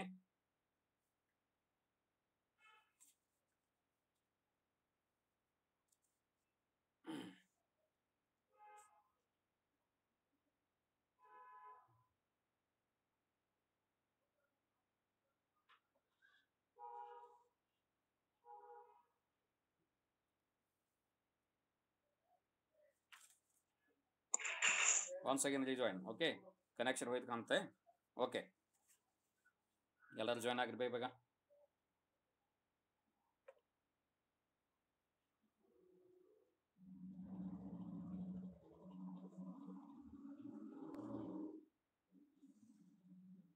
ಜಾಯ್ನ್ ಆದ್ರ? ಓಕೆ ಸೊ ಇಲ್ಲಿ ನೋಡ್ರಿ. ಹಾ ಇಲ್ಲಿ ತಲಾಕ್ಷ ಏನಿದೆ ಇದು? ಉತ್ಪಾದನಾಂಗದ ಪ್ರಮಾಣವನ್ನು ತೋರಿಸ್ತದ. ಅದೇ ರೀತಿಯಾಗಿ ಲಂಬಾಕ್ಷ ಏನು ತೋರಿಸ್ತದ, ಬೆಲೆಯನ್ನು ತೋರಿಸ್ತದ. ಸೊ ಇಲ್ಲಿ ನೋಡಬಹುದು ಇಲ್ಲಿ horizontal axis that represents the quantity of production whereas vertical axis represents the prices so ನಡುವೆ ಒಂದು ಬೆಲೆ ಇದಕ್ಕೆ ಸಮಾಂತರವಾಗಿದೆ ನೋಡಿ, ತಲಾಕ್ಷಕ್ಕೆ. So that represents what that represent fixed cost ಅದು ಏನು ತೋರಿಸ್ತದ? ಸ್ಥಿರ ವೆಚ್ಚವನ್ನು ತೋರಿಸ್ತದ. ಅಂದ್ರೆ ಉತ್ಪಾದನೆಯೊಂದಿಗೆ ನಾವು ವೆಚ್ಚವನ್ನ ಬದಲಾವಣೆ ಮಾಡಲಿಕ್ಕೆ ಸಾಧ್ಯವಾಗಿಲ್ಲ. ಆದ್ದರಿಂದ ಅದು ಸ್ಥಿರ ವೆಚ್ಚವನ್ನ ನಮಗೆ ತೋರಿಸಿದರೆ ಮುಂದೆ ಮತ್ತೊಂದು ಲೈನ್ ಹೋಗಿದೆ ನೋಡ್ರಿ ಅದು. ಏರ್ತಾ ಹೋಗಿದೆ. ಈ ಸಮಾಂತರ ಲೈನ್ದಿಂದ ಸಮಾಂತರ ರೇಖೆಯಿಂದ ಮತ್ತೊಂದು ರೇಖೆ ಈ ರೀತಿಯಾಗಿ ಮೇಲ್ಗಡೆ ಚಲಿಸಿದೆ. ಆ ಒಂದು ರೇಖೆಗೆ ಅಂತೀವಿ ಬದಲಾಗುವ ವೆಚ್ಚದ ರೇಖೆ ಅಂತ ಹೇಳ್ತೀವಿ. Why because there the changes express that so the cost are changes as per the production ಅಂದ್ರೆ ಉತ್ಪಾದನೆಯೊಂದಿಗೆ ವೆಚ್ಚಗಳು ಬದಲಾಗಿದೆ. ಆದ್ದರಿಂದ ಅಲ್ಲಿ ವೆಚ್ಚವನ್ನ, ವೆಚ್ಚದ ರೇಖೆ ಸಮಾಂತರದಿಂದ ಅದು ಮೇಲ್ಗಡೆ ಚಲಿಸುವುದನ್ನು ನೋಡಿದೀವಿ. ಆದ್ದರಿಂದ ಇದು ಏನು? ಬದಲಾಗುವ ವೆಚ್ಚದ ರೇಖೆಯಾಗಿದೆ. ಇದಕ್ಕೆ ಅಂತೀವಿ ಬದಲಾಗುವ ವೆಚ್ಚ ವೇರಿಯಬಲ್ ಕಾಸ್ಟ್ ಅಂತ ಇದನ್ನು ನಾವು ಕರೆಯಬಹುದು. Okay so this is all about what ಸ್ಥಿರ ವೆಚ್ಚ ಮತ್ತು ಬದಲಾಗುವ ವೆಚ್ಚ. ಸೊ ಈ ರೀತಿಯಾಗಿ ನಾವು ಸ್ಥಿರ ವೆಚ್ಚ ಮತ್ತು ಬದಲಾಗುವ ವೆಚ್ಚವನ್ನು ವಿವರಣೆ ಮಾಡಬಹುದು. ಓಕೆ ಸೊ ನಾವು I will move on to the next concept so ಬರ್ಕೊಡ್ರಿ. ಐದನೇ ವೆಚ್ಚದ ಪ್ರಕಾರ, ಈಗ ನಾಲ್ಕನೇದು ಮುಗಿತು. ಐದನೇ ವೆಚ್ಚದ ಪ್ರಕಾರದಲ್ಲಿ ಯಾವುದೇ ಬರ್ತದ? ಸರಾಸರಿ ಸ್ಥಿರ ವೆಚ್ಚ ಮತ್ತು ಸರಾಸರಿ ಬದಲಾಗುವ ವೆಚ್ಚ. ಓಕೆ ಎವರೇಜ್ ಫಿಕ್ಸ್ಡ್ ಕಾಸ್ಟ್ ಆಮೇಲೆ next average variable cost so that is fifth type of cost ಇದು ಐದನೆಯ ಒಂದು ವೆಚ್ಚದ ಪ್ರಕಾರ. ಓಕೆ ಒಟ್ಟು ಸ್ಥಿರ ವೆಚ್ಚವನ್ನು ಉತ್ಪಾದಿಸಿದ ಯೂನಿಟ್ಗಳಿಂದ ಭಾಗಿಸಿದರೆ ಒಂದು ಯೂನಿಟಿನ ಸರಾಸರಿ ಸ್ಥಿರ ವೆಚ್ಚ ನಮಗೆ ಗೊತ್ತಾಗ್ತದ. ಆದ್ದರಿಂದ ಇದನ್ನಂತೀವಿ ಸರಾಸರಿ ಸ್ಥಿರ ವೆಚ್ಚ ಅಂತ ನಾವು ಕರೆಯಬಹುದು. Whatever the when we have to divide the total fixed cost by each unit that each unit the the average fixed cost okay ಇಲ್ಲಿ ಒಟ್ಟು ಸ್ಥಿರ ವೆಚ್ಚವನ್ನ ಒಂದು ಯೂನಿಟ್ನ ವೆಚ್ಚದಿಂದ ಭಾಗಿಸಿದಾಗ ಅಲ್ಲಿ ಸಿಗುವ ವೆಚ್ಚವನ್ನ ಒಟ್ಟು ಸರಾಸರಿ ಸ್ಥಿರ ವೆಚ್ಚವೆಂದು ನಾವು ಕರೆಯಲಾಗ್ತದ. So here we can use by the formula like ಸರಾಸರಿ ಸ್ಥಿರ ವೆಚ್ಚ ಅಂದ್ರೆ average fixed cost is equal to total fixed cost T F C ಬ್ರಾಕೆಟ್ನಲ್ಲಿ T F C ಅಂದ್ರೆ. ಒಟ್ಟು ಸ್ಥಿರ ವೆಚ್ಚ total fixed cost ಬ್ರಾಕೆಟ್ನಲ್ಲಿ T F C divided by quantity produced ಉತ್ಪಾದನೆಯ ಪ್ರಮಾಣ. ಸೊ ಈ ರೀತಿಯಾಗಿ ಇದಕ್ಕೇನಂತೀವಿ ಸರಾಸರಿ ಸ್ಥಿರ ವೆಚ್ಚ ಅಂತ ನಾವು ಇದನ್ನ ಕರೆಯಬಹುದು. ಇನ್ನು ಅದೇ ರೀತಿಯಾಗಿ ಸರಾಸರಿ ಸ್ಥಿರ ವೆಚ್ಚದ ರೇಖೆಯನ್ನ ಈ ಒಂದು ರೇಖಾಚಿತ್ರದ ಮೂಲಕ ನಾವಿಲ್ಲಿ ತೋರಿಸ್ತೀವಿ. ಇಲ್ಲಿ ನೋಡ್ರಿ ಸರಾಸರಿ ಸ್ಥಿರ ವೆಚ್ಚದ ರೇಖೆಯನ್ನ ಈ ಒಂದು ರೇಖಾಚಿತ್ರದ ಮೂಲಕ ನಾವಿಲ್ಲಿ ವ್ಯಕ್ತಪಡಿಸಬಹುದು. ಸೊ ಈ ಒಂದು ರೇಖೆ ನಮಗೆ ಏನ್ ತೋರಿಸ್ತದೆ ಈ ಒಂದು ರೇಖೆ ಸರಳ ರೇಖೆ. ಇಲ್ಲಿ ತಲಾಕ್ಷಕ್ಕೆ, ಅಂದರೆ ಎ, ಬಿ, ಈ ಒಂದು ತಲಾಕ್ಷಕ್ಕೆ ಸಮಾಂತರವಾದಂಥ ಒಂದು ರೇಖೆಯನ್ನು ನೀವು ಇಲ್ಲಿ ಗಮನಿಸಬಹುದು. ಈ ಒಂದು ರೇಖೆ ನಮಗೆ ತೋರಿಸದ ಸರಾಸರಿ ಸ್ಥಿರ ವೆಚ್ಚವನ್ನು ಇದು ನಮಗೆ ತೋರಿಸದ ಆದ್ದರಿಂದ ಇದಕ್ಕೆ ಸರಾಸರಿ ಸ್ಥಿರ ವೆಚ್ಚದ ರೇಖೆ ಅಂತ ನಾವು ಇದನ್ನು ಕರೆಯಬಹುದು. ಸೊ ಅದೇ ರೀತಿಯಾಗಿ ಇಲ್ಲಿ ಮತ್ತೆ ಮತ್ತೊಂದು ರೇಖಾಕೃತಿ ನೋಡಬಹುದು ಅದರ ಮುಂದ್ಗಡೆ ಮತ್ತೊಂದು ರೇಖೆ ಹೋಗಿದೆ. ಇಲ್ಲಿ ವೆಚ್ಚಗಳು ಬದಲಾವಣೆಗೊಳ್ತಾ ಹೋಗ್ತದೆ. ಸೊ ಇದು ಯು ಸೇಬದಲ್ಲಿ ಇದೆ ನೋಡಿ. ಸೊ ಈಗ ಅದೇ ರೀತಿಯಾಗಿ ಸರಾಸರಿ ಸ್ಥಿರ ವೆಚ್ಚದ ರೇಖೆ ನೋಡಬಹುದು ಇಲ್ಲಿ ಒಂದು ವಕ್ರ ರೇಖೆನ ಗಮನಿಸಿರಿ ಅದೇ ರೀತಿಯಾಗಿ ಉತ್ಪಾದನೆ ಅಲ್ಲಿ ಏನಾಗಿದೆ? ಬದಲಾವಣೆ ಆಗ್ತಾ ಹೋಗಿದೆ. ಉತ್ಪಾದನೆಯೂ ಸಹ ವೆಚ್ಚದೊಂದಿಗೆ ಬದಲಾವಣೆ ಆಗ್ತಾ ಹೋಗ್ತದೆ.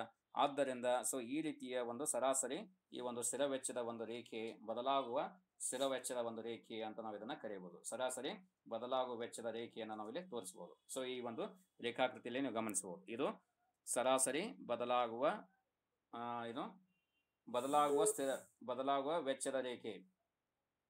ಇಲ್ಲಿ ನೋಡ್ರಿ.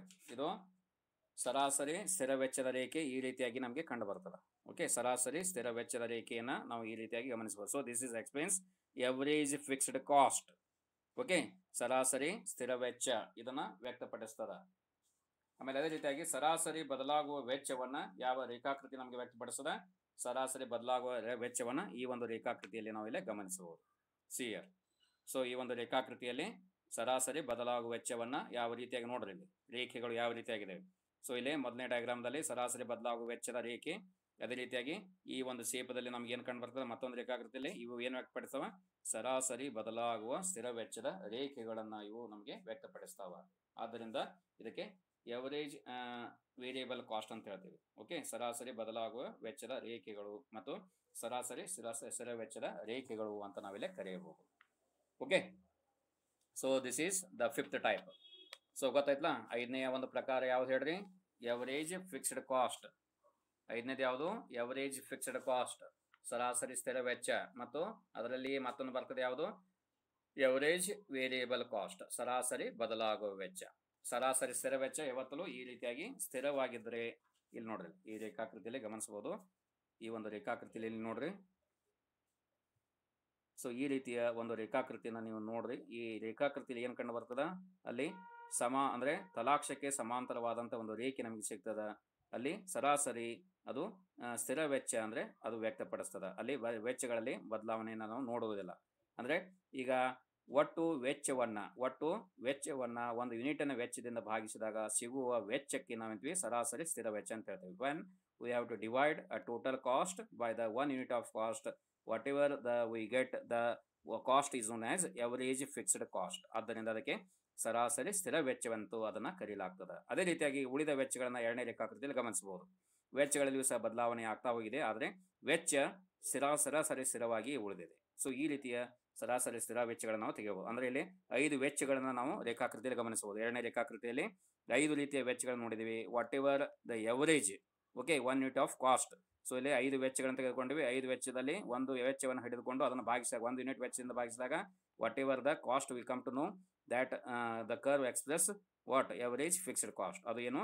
ಸರಾಸರಿ ಸ್ಥಿರ ವೆಚ್ಚವನ್ನು ಇದು ರೇಖೆ ನಮಗೆ ವ್ಯಕ್ತಪಡಿಸಿದೆ ಅನ್ನೋದನ್ನು ಈ ಎರಡು ರೇಖಾಕೃತಿಯಲ್ಲಿ ಗಮನಿಸಬಹುದು. And next the diagram I i have that that is uh, uh, variable uh, uh, that is uh, cost.